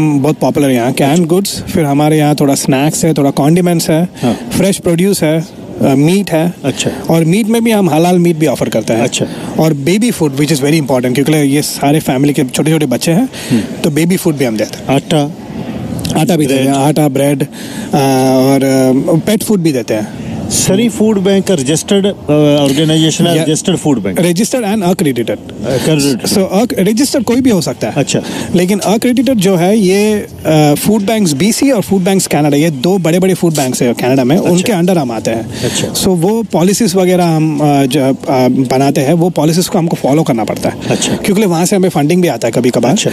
और वो फ़ूड बैंक्स बी जो है फॉर एग्ज़ाम्पल आप जब सुपर जाते हो हाँ. तो सुपर में जो कैशियर होता है ना वो पूछते हैं ना आपको कि आपको दो डॉलर डोनेट करना है ये फ़ूड बैंक को जाएगा। हाँ, हाँ। ये सारा फ़ूड बैंक बीसी में आता है फिर वो फंड्स को एलोकेट करते हैं। क्योंकि ब्रिटिश कोलम्बिया में थर्टी सिक्स फ़ूड बैंक्स हैं। टोटल टोटल और हम दूसरे सबसे बड़े फ़ूड बैंक है ब्रिटिश कोलम्बिया में। तो आपसे पहले कौन? हाँ, हमसे पहले ग्रेटर वैनकोर फ़ूड बैंक है। ग्रेटर वैनकूवर ग्रेटर वैनकोर या अच्छा जो सरी फ़ूड बैंक है ये नॉन पार्टीजन है इसका कोई हिडन एजेंडा नहीं कोई प्रॉफिट कुछ नहीं है। कोई पॉलिटिकल अफिलियंस कुछ नहीं? कुछ नहीं कुछ नहीं कुछ नहीं। We even we include everyone everyone is welcome to come here और ये privately owned run by board of directors और ये बोर्ड ऑफ़ डायरेक्टर्स है ये सारे वॉलंटियर्स हैं। और ये एवरी दो साल जो है हर दो साल ये चेंज होते रहता है। और ये बोर्ड ऑफ़ डायरेक्टर्स हर हर डोमेन से आते हैं। कोई लॉयर है कोई सुपरमार्केट में जनरल मैनेजर है कोई ट्रेजर है। सो ये हर हर डोमेन से आता है। और कितनी अगर वैल्यू वाइज हम लोग एक साल की डोनेशन और या मनी वाइज या वैल्यू वाइज या वेट वाइज कुछ वो स्टेटिस्टिक्स हैं? या डेफिनेटली मेरे पास है। सो so, हमको रन करने के लिए every year we need close to a million dollar million dollar million dollar हर साल रन करने। क्योंकि ये जो प्रॉपर्टी भी हम इसका मॉर्गेज भी पे कर रहे हैं अभी। और अभी हम जो अभी हम बेसिकली अंडर स्टाफ भी है। अच्छा। सो ये जो नंबर है ऊपर जाने का बहुत चांसेस है। तो 1.5 या 2 मिलियन क्योंकि अभी हमारे यहाँ 15 फुल टाइम स्टाफ है और ये सिर्फ़ एक डिपो है यहाँ पे न्यूटन ये जो न्यूटन वाला लोकेशन मेन है यहाँ पे और तीन अदर डिपोस है वो भी इसके अंडर ही आता है। अंदर आता है, सो वो क्लोवरडेल में एक है नॉर्थ डेल्टा में एक है और गिलफर्ड में है। और वो भी नंबर्स ग्रो होते जा रहा है। और अब जो खाना जो है वो close to a million pound every साल हमें चाहिए। चाहिए। चाहिए और मैक्सिमम ज़रूरत कब होती है? क्रिसमस के दौरान और मैक्सिमम भी है, अभी भी है। या मैक्सिमम समर समर का पीरियड है। क्योंकि समर के पीरियड में सारे लोग दे ऑन वेकेशन सो वो जो टाइम में और स्कूल का ब्रेक्स भी होता है ना तो वो टाइम में बहुत मुसीबत आता है यहाँ पे। वॉल्टियर कैसे ज्वाइन कर सकते हैं? वॉल्टियर्स जो है ये बहुत इंपॉर्टेंट रोल प्ले करते हैं सरी फ़ूड बैंक में। सरी फ़ूड बैंक को चलाने के लिए हमें एटलीस्ट पंद्रह से सत्रह वॉल्टियर्स चाहिए होता है हर दिन। ठीक। सो so, वो बेसिकली वेबसाइट में जा सकते हैं। अप्लाई करो। और हमारा एक वेटिंग प्रोसेस होता है तो हम बेसिकली उनको चेक करते हैं उनका बैकग्राउंड चेक करते हैं पुलिस रिपोर्ट उनको देना पड़ता है। वो सारा तीन महीने का प्रोसेस होता है। अच्छा। वो एक बार खत्म हो गया तो वो they can be volunteer with us या right now we have 900 active volunteers और 500 से भी ज़्यादा पेंडिंग वॉलंटियर्स है हमारे पास अभी भी। So we have lot to process तो फिर वो जब भी जैसे उमेश से मैं बात कर रहा था वो जब भी टाइम मिला they can come and yeah whenever they can yeah yeah we have a schedule like uh, better impact करके एक सॉफ्टवेयर है प्लेटफॉर्म है वहाँ पे जाके वो कभी भी रजिस्टर कर सकते हैं और उनके उनका जो स्केड्यूल है उसके हिसाब से वो we are very flexible so seven days food bank खुलता है five days five days so Monday to Friday usually हमारा जो आवर्स है सेवन थर्टी से सुबह सेवन थर्टी से लेकर चार बजे तक है अच्छा। लेकिन क्लाइंट्स के लिए नौ से एक बजे तक। Okay Yeah. जो फ़ूड डोनेट करना चाहें वो क्या आज की क्या ज़रूरत है? मैक- जेडी जो जो मैक्सिमम आज चाहिए वो क्या चाहिए? सो so, आज we are in dire need of can goods वो कैन गुड्स जो है इनका शेल्फ लाइफ बहुत ज़्यादा लंबा होता है। So can goods it can be in the form of can vegetables can meat हो गया या कैन फ्रूट हो गया इसका तो डिमांड हमेशा होता है। दूसरा जो है ये जो ड्राई स्टफ़ जैसे चावल हो गया राइस आटा हो गया या पास्ता हो गया this is in high demand as well और पास्ता सॉस फिर बेबी के जो फ़ूड है स्पेशली बेबी फार्मूला ये फार्मूला बहुत इंपॉर्टेंट है क्योंकि फार्मूला बहुत महँगा हो गया आजकल और ये मिलना भी बहुत मुश्किल हो गया। आप सुपर मार्केट में जाओ अगर आपके पास पैसा भी है तभी भी आप नहीं खरीद सकते क्योंकि इसका मतलब सप्लाई चेन डिसप्शन की वजह से यहाँ पे डिमांड बहुत ज़्यादा हो गया फार्मूला के लिए। So formula we are in dire need of formula और बेबी डायपर्स हो गया या बेबी फूड जैसे हंड्रेड परसेंट फ्रूट कप्स या फ्रूट जूस ये हो गया। और हम सीनियर्स को भी बहुत यहाँ देखभाल करते हैं। सीनियर्स जो है अ, कोई कोई सीनियर्स जो है वो डिमेंशिया से मतलब they they they dealing with dementia तो उनको भी पता नहीं है क्या खाना खाना ये वो। सो उनके लिए जो बूस्ट होता है ये भी बहुत महँगा हो गया है। सो बूस्ट भी अगर आप डोनेट कर सकते हो it will be very good and other stuff like low sodium का खाना हो गया या लो शुगर जो खाना हो गया डायबिटिक पेशेंट्स के लिए या बुज़ुर्ग लोगों के लिए बहुत this is we are need of that and कोई कांटेक्ट करना चाहे सरी फ़ूड बैंक से how they can get connected या सो आप हमारा वेबसाइट है W W W dot Surrey food bank dot और आप वहाँ जाके जा सकते हैं आप, आपको सारा इन्फॉर्मेशन मिल जाएगा। और अगर आप स्लैश डोनेट और उसके आगे लिख दोगे तो आप वहाँ जाके डोनेट भी कर सकते हो और हमारा फेसबुक चैनल है सरी फूड बैंक और अ, हमारा इंस्टाग्राम चैनल भी है ट्विटर भी है आप वहाँ जाके भी हम हमारा हमें फॉलो कर सकते हैं Social media पे है। सोशल मीडिया पे है ये Vijay ji thank you no worry Thank thank you you so thank you very much thank you Sharif Punjab thank you Vijay ਗੱਲਬਾਤ ਕਰ ਰਹੇ ਸੀ ਸਰੀ ਫੂਡ ਬੈਂਕ ਦੀ ਇਹ ਆਨਗੋਇੰਗ ਮੈਸੇਜ ਹੈ ਜਿਹੜਾ ਸਦਾ ਦੇਣਾ ਪਊਗਾ ਇਸ ਤਰ੍ਹਾਂ ਗੱਲ ਨਹੀਂ ਬਣਨੀ ਬਹੁਤ ਜ਼ਰੂਰਤ ਹੈ ਇੱਥੇ ਮਾਮਾ ਬੱਚਿਆਂ ਨਾਲ, ਛੋਟਿਆਂ ਜਵਾਕਾਂ ਦੇ ਨਾਲ ਬੈਗ ਦੇ ਬੈਗ ਭਰ ਕੇ ਲੈ ਕੇ ਜਾਂਦੇ ਨੇ। ਜਵਾਕਾਂ ਦਾ ਭਵਿੱਖ ਕਿਹੋ ਜਿਹਾ ਹੋਏਗਾ? ਸਮਾਂ ਦੱਸੇਗਾ ਪਰ ਜ਼ਰੂਰਤ ਬਹੁਤ ਵੱਧ ਗਈ ਹੈ। ਇਹ ਜਿਹੜੀ ਵਿਜੇ ਉਹਨਾਂ ਨੇ ਦੱਸੀ। ਸਰੀ ਫੂਡ ਬੈਂਕ ਤੋਂ live on location Shere Punjab ਕਰ ਰਿਹਾ। ਚਰਨਜੀਤ ਸਿੰਘ, ਚਰਨਜੀਤ ਰਤਨ ਉਹਨਾਂ ਨੇ ਜਿਹੜਾ ਇੱਕ ਸਵਾਲ ਕੀਤਾ ਵੀ ਡੋਨੇਟ ਮਨੀ ਜਿਹੜੀ ਕਰਨੀ ਉਹ ਠੀਕ ਹੈ ਰਾਦਰ ਦੈਨ ਗਰੋਸਰੀਜ਼ ਇਹ ਬਿਲਕੁਲ ਠੀਕ ਹੈ ਕਿ ਸਰੀ ਫੂਡ ਬੈਂਕ ਡੋਨੇਟ ਜੇ ਤੁਸੀਂ ਇਹਨਾਂ ਨੂੰ ਪੈਸੇ ਕਰ ਦਿੰਦੇ ਹੋ ਤਾਂ ਇਹਨਾਂ ਨੂੰ, ਕਿਉਂਕਿ ਇੱਕ ਸਪੈਸ਼ਲ ਪ੍ਰਾਈਸਸ ਜਿਹੜੀਆਂ ਮਿਲਦੀਆਂ ਨੇ ਡਿਸਕਾਊਂਟ ਇਹਨਾਂ ਨੂੰ ਪ੍ਰਾਈਸਸ ਮਿਲਦੀਆਂ ਨੇ। ਸੋ ਵਧੀਆ ਜੇ ਤੁਸੀਂ ਇਹਨਾਂ ਨੂੰ ਮਨੀ ਵੀ ਡੋਨੇਟ ਕਰ ਦਿੰਦੇ ਹੋ, ਬਾਕੀ ਸਮਾਨ ਵੀ ਦੇ ਕੇ ਜਾ ਸਕਦੇ ਹੋ। ਇਹ ਚ ਨਹੀਂ, ਪਰ ਜ਼ਰੂਰਤ ਬਹੁਤ ਹੈ। ਸ਼ੈਲਫ ਖਾਲੀ ਪਏ ਨੇ, ਅੰਦਰ ਮੈਂ ਦੇਖ ਕੇ ਆਇਆ। ਉਹ ਕਹਿੰਦਾ, ਕਰੀਏ ਕੀ? ਕੋਵਿਡ ਨੇ ਇਹ ਸਾਰਾ ਕੁਝ ਕੀਤਾ। ਕੋਵਿਡ ਨੇ ਤੋੜਤਾ। ਅੱਛਾ, ਲੋਕ ਕਾਰਾਂ ਗੱਡੀਆਂ ਚ ਆਉਂਦੇ ਨੇ ਮਤਲਬ ਜ਼ਿੰਦਗੀ ਤਾਂ ਉਹ ਤੋੜ ਰਹੇ ਨੇ, ਕਿਵੇਂ ਨਾ ਕਿਵੇਂ। ਪਰ ਇਉਂ ਲੱਗਦਾ ਵੀ ਉਹਨਾਂ ਦਾ ਸਭ ਤੋਂ ਵੱਧ ਸਰਮਾਇਆ ਜਿਹੜਾ ਰੈਂਟ ਤੇ ਜਾਂ ਮਾਰਗੇਜ ਜਾ ਰਿਹਾ, ਬਸ। ਇੰਟਰਸਟ ਰੇਟ ਨੇ ਲੋਕਾਂ ਦਾ ਸਤਿਆਨਾਸ਼ ਕਰਤਾ। ਮਹਿੰਗਾਈ ਨੇ ਸਤਿਆਨਾਸ਼ ਕਰਤਾ। ਤੇ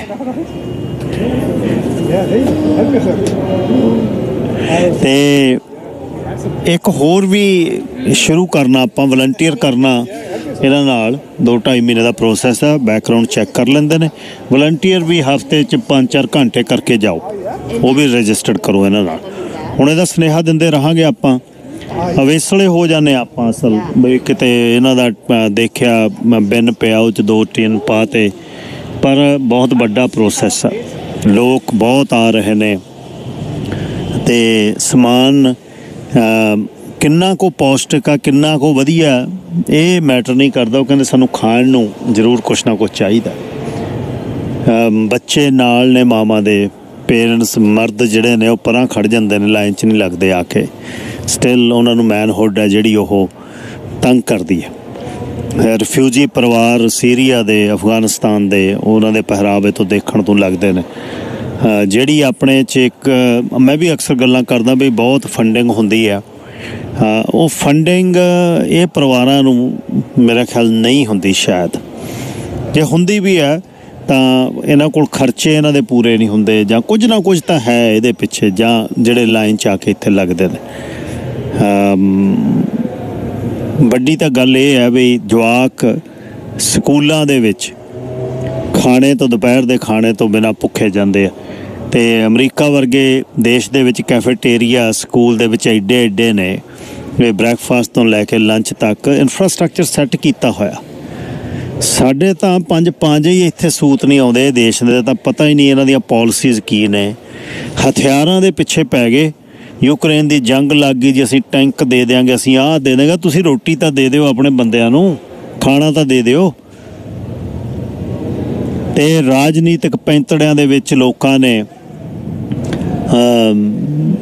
ਆ ਬਈ, ਇਹ ਕਰ ਦਿਆਂਗੇ ਆ 15 13 14 15 ਤੋਂ ਬਾਅਦ ਘਰਾਂ ਦੇ ਕ੍ਰਾਈਸਿਸ ਦੀ ਗੱਲ ਬਹੁਤ ਕੀਤੀ ਸਰਕਾਰਾਂ ਨੇ। ਬਈ ਘਰ ਚਾਹੀਦੇ ਨੇ, ਘਰ ਚਾਹੀਦੇ ਨੇ ਹਾਊਸਿੰਗ ਚਾਹੀ ਹਾਊਸਿੰਗ ਹਾਊਸਿੰਗ ਹਾਊਸਿੰਗ ਹੁਣ ਗੱਲਾਂ ਇਹ ਹੋ ਰਹੀਆਂ ਵੀ ਨਹੀਂ, ਸਾਡੀ ਨਹੀਂ ਇਹ ਪ੍ਰਾਇੋਰਟੀ ਹੈ ਇਹ ਸੂਬਿਆਂ ਦੀ ਪ੍ਰਾਇੋਰਟੀ ਹੈ ਸਾਡੀ ਨਹੀਂ।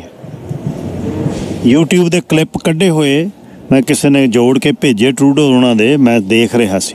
15 ਦੀ ਜਾਂ ਪਹਿਲੀ ਚੋਣ ਉਹ ਜਿੱਤੇ ਉਹ ਕਹਿੰਦੇ ਹਾਊਸਿੰਗ ਅਫੋਰਡੇਬਿਲਟੀ ਹਾਊਸਿੰਗ ਮੇਰੀ ਸਭ ਤੋਂ ਪਹਿਲੀ ਪ੍ਰਾਇੋਰਟੀ ਹੈ। ਤੇ ਹੁਣ ਉਹ ਕਹਿੰਦੇ ਨਾ ਮੇਰੀ ਕੋਈ ਪ੍ਰਾਇੋਰਟੀ ਨਹੀਂ ਹੈ।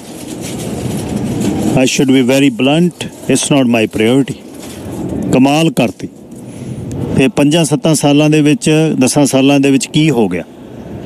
ਸੋ ਐਨੀਵੇਜ਼ ਰਾਜਨੀਤਿਕ ਬੰਦਿਆਂ ਨੇ ਰਾਜਨੀਤੀ ਕਰਨੀ ਆ, ਇਹਨੂੰ ਤੁਸੀਂ ਕੰਟਰੋਲ ਨਹੀਂ ਕਰ ਸਕਦੇ, ਇਹ ਤਾਂ ਇਸ ਤਰ੍ਹਾਂ ਹੀ ਚੱਲਣੀ ਆ। ਪਰ ਜਿਹੜਾ ਸਾਂਝਾ ਕੰਮ ਹੈ, ਉਹ ਬਹੁਤ ਜ਼ਰੂਰੀ ਹੈ ਸੁਣਨ ਵਾਲੇ ਸਾਰੇ ਆ ਕੇ ਜਾਂਦੇ ਸਰਾ ਗਰਨੇਕ ਸਿੰਘ ਮਾਨ ਆ ਕੇ ਗਏ ਨੇ ਡੋਨੇਟ ਕਰਕੇ ਗਏ ਨੇ। ਚਲੋ, ਅੱਜ ਕੰਮਾਂ ਕਾਰਾਂ ਕਰਕੇ ਦਿਨ ਦਾ ਟਾਈਮ ਹੈ। ਪਰ ਇਹ ਆਪਾਂ ਆਪਣੇ ਸ਼ੋਅ ਦੇ ਵਿੱਚ ਜ਼ਰੂਰ ਸਾਂਝਾ ਕਰਾਂਗੇ ਕਿ ਇਹ ਘੱਟੋ ਘੱਟ ਸਰੀ ਫੂਡ ਬੈਂਕ ਚ ਪਹਿਲਾਂ ਤਾਂ ਹੋਣਾ ਚਾਹੀਦਾ ਹੈ ਕਿ ਲੋਕ ਆਉਣ ਨਾ। ਲੋਕਾਂ ਦੇ ਘਰ ਦੇ ਵਿੱਚ ਖਾਣਾ, ਉਹਨਾਂ ਨੂੰ ਰੋਟੀ ਪਾਣੀ, ਕੰਮ ਕਰਨ, ਉਹਨਾਂ ਦਾ ਸਾਰੇ ਖਰਚੇ ਚੱਲਣ। ਤੇ ਜੇ ਕੋਈ ਆਉਂਦਾ ਫੂਡ ਬੈਂਕ ਦੇ ਵਿੱਚ ਤਾਂ ਘੱਟੋ ਘੱਟ ਉਹਨਾਂ ਦਾ ਘੱਟੋ ਘੱਟੋ ਘੱਟ ਉਹਨਾਂ ਦਾ ਜਿਹੜੇ ਖਰਚੇ ਜੇ ਪੂਰੇ ਜੇ ਉਹਨਾਂ ਨੂੰ ਸਮਾਨ ਦੀ ਲੋੜ ਪੈ ਜਾਏ, ਤਾਂ ਸਮਾਨ ਫੂਡ ਬੈਂਕ 'ਚ ਹੋਵੇ। ਇਹ ਇਹ ਬਹੁਤ ਜ਼ਰੂਰਤ ਹੈ। ਇਹ ਇਹ ਜਿਹੜੀ ਆ ਇਹ ਹੋਣਾ ਚਾਹੀਦਾ ਵੀ ਕਮੀ ਨਾ ਯਾਰ ਹੋਵੇ। ਘੱਟੋ ਘੱਟ ਜਿਹੜੇ ਨੇ ਘਰ 'ਚ ਚੁੱਲ੍ਹਾ ਤਾਂ ਜਲੇ। ਕਦੇ ਸੋਚ, ਤੁਸੀਂ ਕੋਈ ਕਿਸੇ ਨੂੰ ਕੈਨੇਡਾ ਦੇ ਬਾਹਰ ਕਿਤੇ ਕਿਸੇ ਦੇਸ਼ 'ਚ ਜਾਂ ਭਾਰਤ 'ਚ ਗੱਲ ਤਾਂ ਕਰਕੇ ਦੇਖੋ ਯਾਰ ਤੁਸੀਂ ਐ ਹੱਲ ਹੈ ਵੀ ਉੱਥੇ ਖਾਣੇ ਦੀ ਕੋਈ ਕਮੀ ਹੋ ਸਕਦੀ ਹੈ? ਕਿਸੇ ਨੂੰ ਕਹਿ ਕੇ ਦੇਖਿਓ।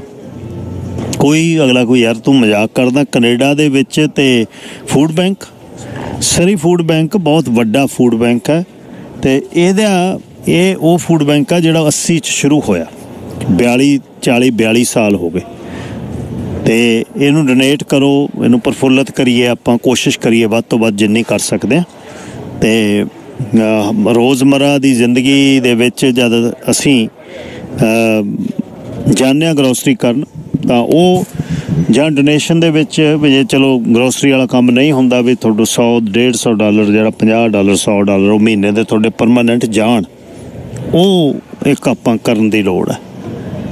ਉਹ ਇਹ ਜਿਹੜਾ 134 78 78 avenue 13478 uh, 78 avenue. Surrey food bank ਤੋਂ ਲਾਈਵ ਔਨ ਲੋਕੇਸ਼ਨ ਆ ਜੀ ਸ਼ੇਰੇ ਪੰਜਾਬ ਲਾਈਵ ਹੈ ਤੇ ਅੱਜ 5 ਵਜੇ ਤੱਕ ਇੱਥੇ ਰਹਿਣਾ ਹੈ ਤੇ ਜਿਹੜੇ ਹੁਣ ਗੇੜਾ ਮਾਰ ਕੇ ਜਾ ਸਕਦੇ ਤਾਂ ਬਹੁਤ ਵਧੀਆ। ਨਹੀਂ ਤਾਂ ਬਾਅਦ ਚ ਵੀ 5 ਵਜੇ ਤੱਕ ਜਦ ਮਰਜ਼ੀ ਤੁਸੀਂ ਆਉਣਾ ਤੇ ਡੋਨੇਟ ਬਹੁਤ ਜ਼ਰੂਰੀ ਆ ਕਰਨਾ। ਸਰੀ ਫੂਡ ਬੈਂਕ ਦੇ ਵਿੱਚ ਜ਼ਰੂਰਤ ਆ ਬਹੁਤ। ਭੈਣ ਜੀ ਵਰਿੰਦਰ ਕੌਰ ਬਰਾੜ, ਐਬ ਸਪੋਰਟ ਤੋਂ ਆਏ ਨੇ। ਡੋਨੇਟ ਕਰਕੇ ਗਏ ਸੀ, ਕੁਦਰਤੀ ਸਰੀ ਕਹਿੰਦੇ ਆਉਣਾ ਸੀ ਤਾਂ ਬਹੁਤ ਵਧੀਆ ਲੱਗਿਆ। ਨਹੀਂ ਚਾਂਸ ਨਹੀਂ ਮਿਲਦੇ, ਤੁਸੀਂ ਮਿਲਦੇ, ਮਿਲ ਨਹੀਂ ਹੁੰਦਾ। ਤੇ ਤੇ ਸੋ ਇਹਦੇ ਕਰਕੇ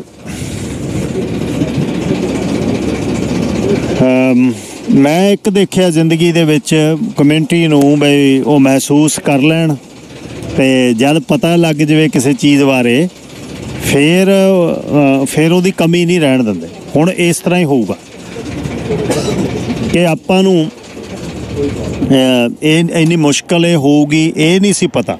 ਪਰ ਹੁਣ ਮੁਸ਼ਕਲ ਇੰਨੀ ਵੱਧਾ ਇਹ ਇਹ ਇਹ ਜਿਹੜਾ ਮਹਿਸੂਸ ਕੀਤਾ ਆਪਾਂ ਬਈ ਉਹ ਉਹ ਕਿ ਪਹਿਲੇ ਤੇ ਗੱਲ ਲੋਕ ਆਉਣ ਨਾ, ਜੇ ਲੋਕ ਆ ਗਏ,